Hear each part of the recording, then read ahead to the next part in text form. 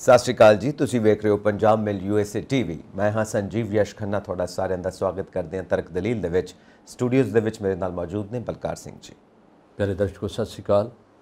ਔਰ ਅਸੀਂ ਜਿਸ ਤਰ੍ਹਾਂ ਜਾਣਦੇ ਹਾਂ ਕਿ ਨਵਾਂ ਸੂਰਜ ਤੇ ਨਵੇਂ ਮਸਲੇ, ਪੰਜਾਬ ਦੇ ਲੋਕ ਹਮੇਸ਼ਾ ਮਸਲਿਆਂ ਨਾਲ ਹੀ ਜਿਹੜੇ ਆ ਬਿਜ਼ੀ ਰਹਿੰਦੇ ਆ ਔਰ ਇਸ ਕਰਕੇ ਰਹਿੰਦੇ ਆ ਕਿ ਨਵੀਂ ਸਰਕਾਰ ਹੈ। ਨਵੀਂ ਸਰਕਾਰ ਦੇ ਆਉਣ ਨਾਲ ਨਵੇਂ ਮਸਲੇ ਆ ਔਰ ਦਿਨ ਚੜ੍ਹਦੇ ਨਵੇਂ ਮਸਲੇ ਆ ਕੇ ਪੰਜਾਬ ਦੇ ਲੋਕਾਂ ਨੂੰ ਘੇਰ ਲੈਂਦੇ ਆ। ਔਰ ਜਿਸ ਤਰ੍ਹਾਂ ਅਸੀਂ ਬਿਜਲੀ ਦਾ ਸੰਕਟ ਦੀ ਗੱਲ ਕਰਦੇ ਰਹੇ ਹਾਂ, ਜਿਸ ਤਰ੍ਹਾਂ ਅਸੀਂ ਸਿਹਤ ਸੇਵਾਵਾਂ ਦੀ ਗੱਲ ਕਰਦੇ ਰਹੇ ਹਾਂ, ਜਿਸ ਤਰ੍ਹਾਂ ਵਿਦਿਆ ਦੀ ਗੱਲ ਕਰਦੇ ਰਹੇ ਹਾਂ, ਬੇਸ਼ੁਮਾਰ ਮੁੱਦਿਆਂ ਨਾਲ ਪੰਜਾਬ ਇਸ ਵੇਲੇ ਗ੍ਰਸ ਵੀ ਆ ਔਰ ਕਈ ਮੁੱਦੇ ਇਹਨਾਂ ਦੇ ਸੋਲਵ ਹੋ ਵੀ ਗਏ ਆ। ਪਰ ਜਦੋਂ ਤੱਕ ਇਹ ਮੁੱਦੇ ਪਿਆਰ ਨਾਲ, ਸਤਿਕਾਰ ਨਾਲ ਤੇ ਬਗੈਰ ਤਤਕਾਰ ਅਸੀਂ ਇਹਨਾਂ ਦਾ ਹੱਲ ਜਾਣ ਲਈਏ ਤੇ ਚੰਗੀ ਗੱਲ ਹੁੰਦੀ ਹੈ, ਕਿਉਂਕਿ ਪੰਜਾਬੀ ਦਿਲ ਦੇ ਬੜੇ ਖੁੱਲੇ ਨੇ, ਮੁਹੱਬਤ ਜਾਣਦੇ ਨੇ ਕਰਨਾ ਤੇ ਹੁਣ ਮੈਂ ਇਹ ਗੱਲ ਕਰਾਂਗਾ ਔਰ ਸਾਡੇ ਨਾਲ ਬੈਠੇ ਨੇ ਜਾਂ ਸੰਜੀਵ ਖੰਨਾ ਜੀ ਤੇ ਖੰਨਾ ਜੀ ਅਸੀਂ ਹੁਣ ਕਿਹੜਾ ਮਸਲਾ ਲੈਣਾ ਚਾਹਾਂਗੇ ਜਿਹੜਾ ਪੰਜਾਬ ਦਾ ਇਸ ਵੇਲੇ ਭਖ ਦਾ ਮਸਲਾ ਹੈ? ਪੱਖ ਦੇ ਮਸਲੇ ਇਹ ਨੇ ਕਿ ਜਦੋਂ ਪਿੱਛਲ ਝਾਤ ਕੀ ਕਰੀਏ ਆਪਾਂ ਜੀ। ਤੇ ਪਿੱਛਲ ਝਾਤ ਵੇਲੇ ਮਿਲਦਾ ਕਿ ਹਰ ਥਾਂ ਤੇ ਕਪਲੇ ਕਪਲੇ ਕਪਲੇ ਕਪਲੇ। ਹੁਣੇ ਵਿਧਾਨ ਸਭਾ ਦੀ ਗੱਲ ਖੁੱਲ ਗਈ ਹੈ ਕਿ ਉੱਥੇ ਵੀ ਜਿਹੜੀਆਂ ਨੌਕਰੀਆਂ ਸੀ ਉਹਦੇ ਵਿੱਚ ਵੀ ਕਪਲੇ ਹਾਂ। ਕਿ ਜਿਹੜੀਆਂ ਪਿਛਲੀਆਂ ਸਰਕਾਰਾਂ ਰਹੀਆਂ ਨੇ ਉਹ ਲੰਘੇ ਸਾਲਾਂ ਦੇ ਵਿੱਚ ਉਹਨਾਂ ਨੇ ਆਪਣੇ ਬੰਦਿਆਂ ਨੂੰ ਉੱਥੇ ਅਪਾਇੰਟਮੈਂਟਸ ਦਿੱਤੀਆਂ ਨੇ। ਇਹ ਕਿਉਂ ਦਿੱਤੀਆਂ ਗਈਆਂ ਕਿ ਹੋਰ ਕੋਈ ਕਿਉਂ ਨਹੀਂ ਮਿਲਿਆ? ਇਹਨਾਂ ਨੂੰ ਇਹ ਭਾਈ ਭਤੀਜਾਵਾਦ ਇੱਥੇ ਵੀ ਚੱਲ ਪਿਆ। ਤੇ ਇਹ ਸਭ ਗੱਲਾਂ ਹੁਣ ਖੁੱਲਦੀਆਂ ਪਈਆਂ ਨੇ। ਹੁਣ ਮੈਂ ਕਈ ਵਾਰ ਇਹ ਸੋਚਦਾ ਕਿ ਇੱਥੇ ਤਾਂ ਤੁਸੀਂ ਜਿੱਥੇ ਤੱਕ ਮਰਜ਼ੀ ਨਜ਼ਰ ਮਾਰੋ। ਤੇ ਇੱਥੇ ਤਾਂ ਇਹੀ ਕੁਝ ਮਿਲਣਾ। ਜੇ ਇਹ ਕੁਝ ਨਾ ਹੋਇਆ ਹੁੰਦਾ ਤੇ ਅੱਜ ਇਹ ਦਿਨ ਨਾ ਦੇਖਣੇ ਪੈਂਦੇ ਪੰਜਾਬ ਨੂੰ। ਇਹ ਇਹੀ ਸਭ ਕੰਮਾਂ ਦਾ ਸਦਕਾ ਅਸੀਂ ਇੱਥੇ ਤੱਕ ਪਹੁੰਚੇ ਹਾਂ ਤੇ ਅੱਜ ਸਿਰ ਖਪਾਈ ਹੁੰਦੀ ਪਈ ਹੈ ਕਿ ਕਿਸੇ ਤਰ੍ਹਾਂ ਪੰਜਾਬ ਨੂੰ ਬਚਾ ਲਓ ਪੰਜਾਬ ਨੂੰ ਬਚਾ ਲਓ ਕਿਉਂਕਿ ਅਸੀਂ ਇੱਕ ਜੇ ਸੰਕੇਤਕ ਰੂਪ ਦੇ ਵਿੱਚ ਗੱਲ ਕਰੀਏ ਤਾਂ ਪੰਜਾਬ ਮਰਦਾ ਰਿਹਾ ਤੇ ਇਹ ਲੋਕ ਨਿੱਜੀ ਤੌਰ ਤੇ ਤਰੱਕੀਆਂ ਕਰਦੇ ਰਹੇ। ਤੇ ਜੇ ਕਿਤੇ ਨਿੱਜ ਨੂੰ ਕੁਰਬਾਨ ਕਰਕੇ ਪੰਜਾਬ ਬਾਰੇ ਸੋਚਿਆ ਹੁੰਦਾ ਕਿਉਂਕਿ ਜਾਨਾਂ ਵਾਰਨ ਵਾਲਿਆਂ ਦੀਆਂ ਸਾਡੇ ਸਾਹਮਣੇ ਉਦਾਹਰਨਾਂ ਮੌਜੂਦ ਨੇ।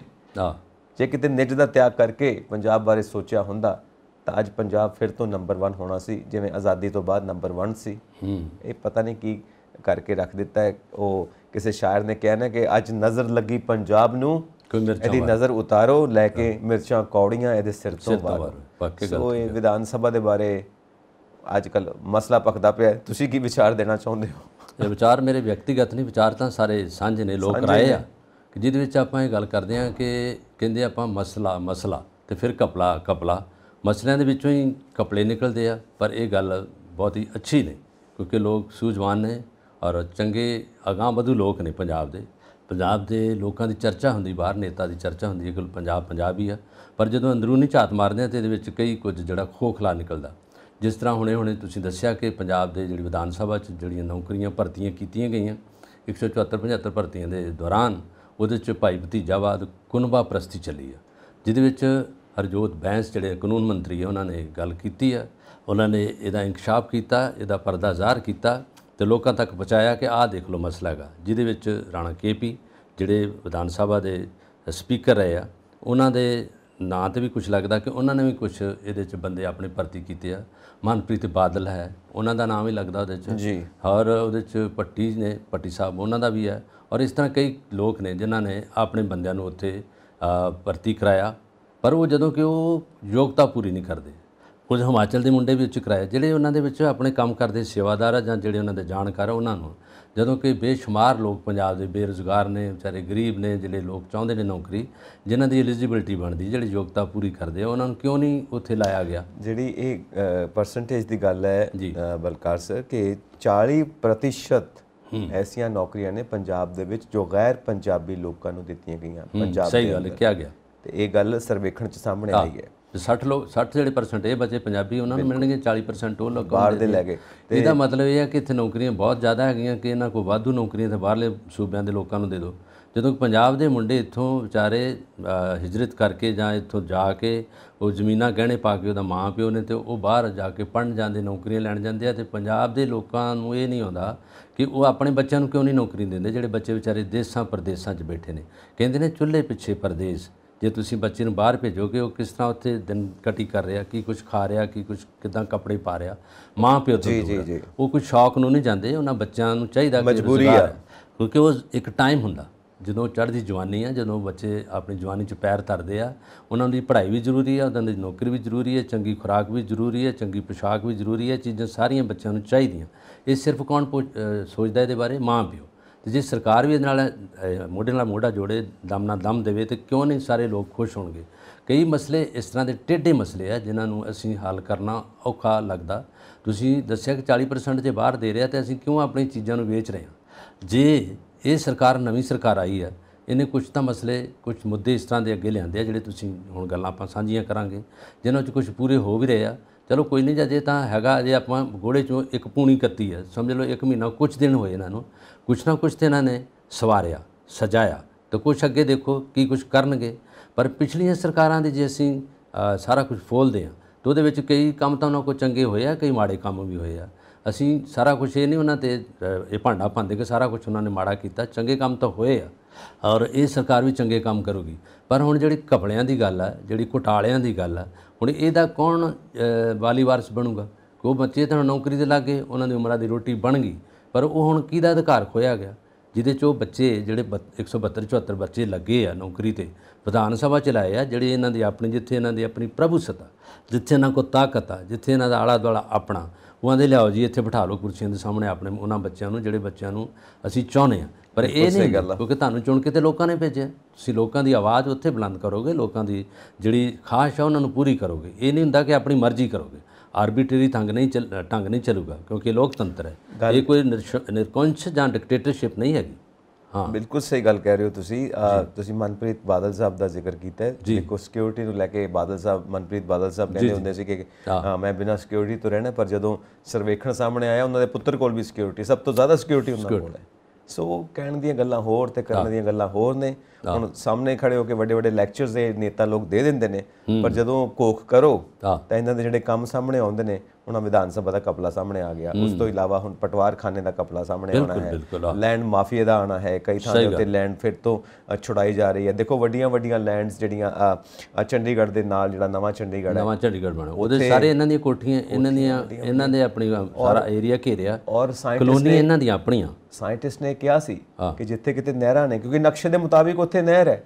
ਉੱਥੇ ਬਿਲਡਿੰਗ ਬਣੀ ਹੋਈ ਹੈ ਹੂੰ। ਔਰ ਇਹ ਗੱਲ ਕਹੀ ਗਈ ਸੀ ਕਿ ਤੁਸੀਂ ਜਿਹੜੀ ਇਹ ਕੁਦਰਤ ਨਾਲ ਖਿਲਵਾੜ ਕਰਦੇ ਪਏ ਹੋ ਕਿਤੇ ਉਹ ਹੜ ਵਾਲਾ ਇੱਥੇ ਸੀਨ ਨਾ ਕ੍ਰੀਏਟ ਕਰਕੇ ਰੱਖ ਦਈਓ ਆ ਪਹਾੜ ਆ ਮੁੜ ਕੇ ਲੋਕ ਵਿਪਤਾ ਚ ਪੈ ਜਾਣਗੇ। ਵਿਪਤਾ ਤਾਂ ਅਸੀਂ ਆਪ ਛੇੜਦੇ ਬਿਲਕੁਲ ਸਹੀ ਗੱਲ ਹੈ। ਜਿਹੜੀ ਵਿਪਤਾ ਵੀ ਜਦੋਂ ਆਉਂਦੀ ਹੈ ਸਾਰਾ ਕੁਝ ਆਪ ਛੇੜਦੇ ਆ ਜਿਸ ਤਰ੍ਹਾਂ ਹੁਣ ਤੁਸੀਂ ਦੱਸਿਆ ਵੀ ਚੰਡੀਗੜ੍ਹ ਜਿਹੜਾ ਨਵਾਂ ਕਲੋਨੀਆਂ ਬਣੀਆਂ ਉਹਦੇ ਚ ਇਹਨਾਂ ਦਾ ਬਹੁਤ ਵੱਡਾ ਹਿੱਸਾ। ਔਰ ਉਹਨਾਂ ਦਾ ਪਤਾ ਵੀ ਲੱਗਿਆ ਵੀ ਕੌਣ ਕੀ ਕਰ ਰਿਹਾ ਤੇ ਕਿੱਥੇ ਕਿੱਥੇ ਕੀ ਕੀਤਾ ਹੈਗਾ। ਪਰ ਜੇ ਤੁਸੀਂ ਲੈਂਡ ਮਾਫੀਆ ਦੀ ਗੱਲ ਕਰਦੇ ਜੇ ਰੀਸੈਂਟਲੀ ਹੁਣੇ ਹੀ ਜਿਹੜਾ ਕੁਲਦੀਪ ਸਿੰਘ ਧਾਲੀਵਾਲ ਜੀ ਮੰਤਰੀ ਹੈ ਦੇ ਵਿਕਾਸ ਮੰਤਰੀ ਪੰਚਾਇਤ ਮੰਤਰੀ ਹੈ ਉਹਨਾਂ ਨੇ 29 ਕਿੱਲੇ ਜ਼ਮੀਨ ਤਾਂ ਕੁਝ ਏਰੀਆ ਉੱਥੋਂ ਛੁਡਵਾਈ ਆ ਔਰ 12000 ਏਕੜ ਜਲੰਧਰ ਚ ਆ, ਜਿਹੜੇ ਲੋਕਾਂ ਨੇ ਆਪਣੇ ਕਬਜ਼ੇ ਅੰਦਰ ਰੱਖੀ ਆ। ਔਰ ਉਹ ਲੋਕ ਕੌਣ ਨੇ? ਪਹਿਲੀਆਂ ਸਰਕਾਰਾਂ ਦੇ ਅਸਰ ਸੂਕ ਵਾਲੇ ਕਰਤਾ ਧਰਤਾ ਉਹੀ ਨੇ ਉਹਨਾਂ ਨੇ ਜ਼ਮੀਨ ਆਪਣੇ ਹਿੱਸੇ ਦੀ ਉੱਥੇ ਰੱਖੀ ਹੈ ਪਰ ਜਿਹਦੇ ਵਾਲੀ ਵਾਰਸ ਨਹੀਂ ਹੋ ਜਿਨ੍ਹਾਂ ਦਾ ਸਿਰਫ ਕਬਜ਼ਾ ਹੀ ਚੱਲਦਾਗਾ ਇੱਕ ਕਿੱਲਾ ਜ਼ਮੀਨ ਵੀ ਜਿਹੜੀ ਹੈਗੀ ਹੈ ਸ਼ਹਿਰ ਦੇ ਨੇੜੇ ਆ 2 ਕਰੋੜ ਤੋਂ ਉੱਪਰ ਆ। ਔਰ ਇਹ ਹੁਣ ਜ਼ਮੀਨ ਕਿਹਨਾਂ ਦੀ ਹੈ? ਇਹ ਆਮ ਪਬਲਿਕ ਦੀ ਜ਼ਮੀਨ ਆ ਲੋਕਾਂ ਦੀ ਜ਼ਮੀਨ ਆ ਜਿਹਨੂੰ ਸ਼ਾਮਲੇਟ ਸ਼ਾਮਲਾਟ ਜ਼ਮੀਨਾਂ ਨੇ। ਕਾਮਨ ਲੈਂਡ ਪਰ ਉਹ ਲੈ ਕੇ ਕੌਣ ਬੈਠੇ ਆ? ਮੁੱਠੀ ਪਰ ਲੋਕ। ਮੁੱਠੀ ਪਰ ਲੋਕ ਕੌਣ ਨੇ? ਜਿਹੜੇ ਸਰਕਾਰ ਦੇ ਜ- ਨਾਲ ਅਗਾਂ ਚੱਲਦੇ ਨੇ ਜਿਹੜੇ ਉਹਨਾਂ ਨੂੰ ਭੇਜ ਦਿੰਦੇ ਨੇ ਜਾਂ ਜਿਨ੍ਹਾਂ ਦੇ ਜਿਹੜੇ ਉਹਨਾਂ ਦੇ ਚੇਅਰਮੈਨ ਬਣੇ ਸੀ ਜਾਂ। ਜਿਹੜੇ ਉਹਨਾਂ ਦੇ ਉੱਤੇ ਨਾਲ ਪੈਰੋਕਾਰ ਨੇ। ਉਹਨਾਂ ਲੋਕਾਂ ਨੇ ਜ਼ਮੀਨ ਸੰਭਾਲੀ ਪਈ ਆ। ਪਰ ਇਹ ਦੇਖੋ ਇਹ ਕਾਣੀ ਵੰਡ ਤੇ ਅੰਨਾ ਵੰਡੇ ਰੇੜੀਆਂ ਤੇ ਮੁੜ ਕੋੜ ਆਪਣਿਆਂ ਨੂੰ ਕਦੋਂ ਤੱਕ ਚੱਲਦਾ ਰਹੂਗਾ? ਕਈ ਸਰਕਾਰਾਂ ਆਈਆਂ ਸਰਕਾਰਾਂ ਕਈ ਆਉਣਗੀਆਂ ਵੀ ਪਰ ਲੋਕ ਦੁਖੀ ਰਹੇ ਪਬਲਿਕ ਦੁਖੀ ਰਹੀ। ਪਰ ਹੁਣ ਇੱਕ ਤਵੱਕੂ ਹੈ ਲੋਕਾਂ ਨੂੰ ਕਿ ਇਹ ਸਰਕਾਰ ਉਹਨਾਂ ਦੇ ਜਿਹੜੀਆਂ ਗਿਣੀਆਂ ਮੱਥੀਆਂ ਚੀਜ਼ਾਂ ਨੇ ਜਾਂ ਜੋ ਚਾਹੁੰਦੇ ਨੇ ਉਹ ਕੀ ਉਹ ਪੂਰਾ ਕਰ ਸਕਦੇ ਨੇ? ਗੱਡੀਆਂ ਵੀ ਧੋਂਦੇ ਨੇ। ਬਿਲਕੁਲ। ਕੱਪੜੇ ਵੀ ਪ੍ਰੈਸ ਕਰਾਉਣ ਜਾਂਦੇ ਨੇ। ਸਬਜ਼ੀਆਂ ਵੀ ਲੈਣ ਜਾਂਦੇ ਨੇ। ਹੁਣ ਇਹ ਉਹਨਾਂ ਦਾ ਪ੍ਰੋਟੋਕੋਲ ਹੈ। ਨਹੀਂ। ਬਿਲਕੁਲ ਡਿਊਟੀ ਡਿਊਟੀ ਹੋ ਰਹਾ ਔਰ ਵੱਡੇ ਵੱਡੇ ਆਫੀਸਰਸ ਜਦੋਂ ਫੋਰਨ ਕੰਟਰੀ ਜਾਂਦੇ ਨੇ ਉੱਥੇ ਜਿਹੜੇ ਐਨ ਆਰ ਆਈਜ਼ ਉਹਨਾਂ ਦੀ ਆਓ ਭਗਤ ਕਰਦੇ ਨੇ। ਉਹਨਾਂ ਦੀ ਸਾਰੀ ਦੇਖ ਰੇਖ ਕਰਦੇ ਨੇ।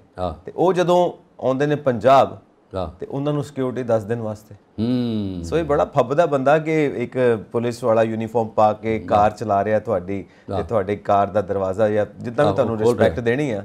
ਤੇ ਉਹ ਬੱਲੇ ਬੱਲੇ ਹੋ ਜਾਂਦੀ। ਬੰਦਾ ਕਹਿੰਦਾ ਬਹੁਤ ਵੱਡਾ ਬੰਦਾ ਹੈ ਜੀ। ਹੂੰ। ਤੇ ਉਹ ਹੈ ਕੀ ਬੰਦਾ ਕਿ ਉਹ ਭਾਰਤ ਆਇਆ ਤੇ ਜਿਨ੍ਹਾਂ ਨੂੰ ਉਹ ਉੱਥੇ ਐਂਟਰਟੇਨ ਕਰਦਾ ਉਹ ਆਫੀਸਰਸ ਨੂੰ ਫੋਨ ਮਿਲਾਇਆ ਜੀ ਭੇਜਿਓ ਜ਼ਰਾ 10 ਦਿਨ ਵਾਸਤੇ ਹਫ਼ਤੇ ਵਾਸਤੇ ਹਫ਼ਤੇ ਵਾਸਤੇ 10 ਦਿਨ ਵਾਸਤੇ ਸਿਕਿਉਰਿਟੀ ਉੱਥੇ। ਹੂੰ। ਹੁਣ ਇਹ ਕਿਹੜੇ ਖਾਤੇ ਚ? ਬਸ। ਇਹ ਸਭ ਕੁਝ ਜੇ ਪਤਾ ਕੀਤਾ ਜਾਏ ਕਿਹੜੀ ਚੀਜ਼ ਉਹ ਹੈ ਜਿਹੜੀ ਸੰਵਿਧਾਨ ਦੇ ਮੁਤਾਬਿਕ ਹੋ ਰਹੀ ਹੈ? ਅਕੋਰਡਿੰਗ ਟੂ ਦਾ ਬੁੱਕ ਅਸੀਂ ਨਹੀਂ ਚੱਲ ਰਹੇ। ਨਹੀਂ ਕਰ ਸਕਦੇ।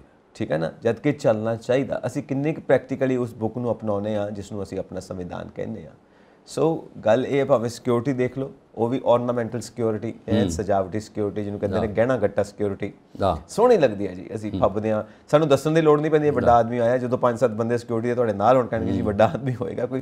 ਹੈਨਾ ਸਾਡਾ ਸਾਡਾ ਜਿਹੜਾ ਸ਼ਮਲਾ ਹੈ ਨਾ ਉਹਦੀ ਉਹਦੀ ਰਿਸਪੈਕਟ ਹੋਰ ਉੱਚੀ ਹੋ ਜਾਂਦੀ ਆ ਸੋ ਇਹ ਚੀਜ਼ਾਂ ਨੇ। ਔਰ ਵਿਧਾਨ ਸਭਾ ਦੀ ਆਪਾਂ ਗੱਲ ਕੀਤੀ ਉੱਥੇ ਕਪਲੇ ਮਤਲਬ ਕਾਰਨਾਮੇ ਤੁਹਾਡੇ ਕਪਲਿਆਂ ਵਾਲੇ।